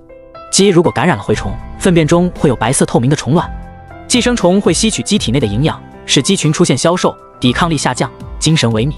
此时给鸡喂花椒和大蒜，就能驱杀鸡蛔虫。另外，花椒对寄生虫有麻痹作用，当鸡群体有螨虫时，给病鸡体表患处捣敷花椒水，还能驱杀螨虫。花椒对大肠杆菌、金黄色葡萄球菌、溶血性链球菌、伤寒沙门菌、肺炎链球菌都有较好的抑制作用。大蒜对巴氏杆菌。化脓性球菌、伤寒沙门菌、分支杆菌都有较好的抑制作用，所以当鸡群有大肠杆菌引起的腹膜炎、肠炎或感染沙门氏菌，病鸡出现白痢、伤寒、副伤寒，都可以给鸡喂花椒配合大蒜进行治疗。同样的，给病鸡喂花椒和大蒜，对于杀灭病鸡体内的金黄色葡萄球菌、溶血性链球菌、肺炎链球菌、巴氏杆菌、化脓性球菌也会有比较好的效果。使用方法：花椒干燥成熟后，采收果实，晒干，除去种子，研磨粉碎。大蒜成熟后，通风晒干，捣碎生用。治疗时，花椒按照百分之零点五比例，大蒜按照百分之一比例拌料使用，连用四至五天。技巧三：大蒜加红糖。秋冬季可以用大蒜和红糖，性温，善散阴冷，温中止痛，能发散体表之寒。大蒜归脾胃经，理气开胃；红糖味甘，入脾，有健脾暖胃的作用。此外，大蒜能够促进胃液的分泌，帮助饲料消化。红糖具有补气益血作用。尤其是冬天给产蛋鸡用红糖，有非常好暖宫作用。使用方法：大蒜成熟后粉碎拌料，大蒜按照百分之一至百分之一点五比例拌料，红糖按照百分之零点五比例混匀拌料使用，连用四至五天。技巧四：大蒜加板蓝根，秋冬季用。进入秋冬天是流感等病毒病的高发期，板蓝根含次黄嘌呤、尿嘧啶氨基酸等成分，有清热、抗病毒的作用，能促进免疫蛋白的生成，提高鸡群的免疫力。大蒜归脾胃经，理气开胃。大蒜配合板蓝根配合使用，既能抗病毒，又能促进鸡群采食，有助于鸡群精神快速恢复。此外，板蓝根对大肠杆菌、副伤寒、肠炎杆菌、痢疾杆菌等肠道细菌有很好的抑制作用。大蒜能抑制沙门氏菌，所以大蒜配合板蓝根还能治疗细菌引起的肠道问题。使用方法：板蓝根成熟后采挖、晒干、研磨粉碎，按照百分之一至百分之一点五；大蒜按照百分之一至百分之一点五比例拌料，连用五至六天。好了，朋友们。以上就是关于大蒜四个经典养鸡套餐了，你学会了吗？喜欢的朋友可以关注一下，以后会有很多养鸡的小经验、小技巧分享给大家。那么我今天的分享就到这里，再见。养鸡的朋友你好，在养鸡过程当中呢，我们都会用到这个阿莫西林这个小药去治疗某些疾病，但是你发现没？当你用阿莫西林去治疗某些疾病的时候呢，往往收不到一个很好的一个疗效。到这个时候呢，你要么就是埋怨人家的药是假药。要么呢，就是说人家的技术不好，给你开错药了。那么为什么会出现这种情况呢？我们今天就专门的拿出这个阿莫西林这个小药来，好好的剖析一下。阿莫西林这个药呢，主要是治疗这个鸡的沙门氏菌、霍乱、鸡白痢、大肠杆菌、肺炎、支气管炎以及这个蛋鸡的这个输卵管炎。啊，它的这个抗菌谱还是比较宽的。另外呢，这个阿莫西林在这个机体内的血液浓度非常的高，它针对全身性的感染疗效是非常好。那么今天呢，我给大家分享四点这个用阿莫西林的小技巧。这四个小技巧用好了，那你以后再用阿莫西林的时候，你的效果是杠杠的就上去了。第一个小技巧，阿莫西林治疗鸡的呼吸道。这个时候呢，你这个阿莫西林呢，可以这个和盐酸氨溴索配伍。呃，但是有一点记住啊，是盐酸氨溴索，你不要用氨溴索。氨溴索呢不溶于水，你用氨溴。你用盐酸氨溴索，它就可以溶于水了。呃，这个配伍呢，你可以针对这个鸡的肺炎、气管炎以及支气管炎的疗效，它是非常好的。尤其是到这个春天、秋天、冬天，呃，鸡发生了支气管堵塞的时候，你可以用这个配方。当然还要搭配其他药啊，嗯，治疗的效果是非常棒的。第二个小技巧。你如果用这个阿莫西林单方制剂的话，去防止某些细菌病，那么呢，你就不要一天一次给药了，因为这个阿莫西林它是一个时间依赖型的药，它不是一个浓度型的依赖药啊。这个时候呢，你可以把五天的量分三天给它用完了。那么每天呢，你前两天呢，你可以每天给两次药，中间呢可以间隔个十二小时。呃，第三天呢，你把那个量一次用完就可以了。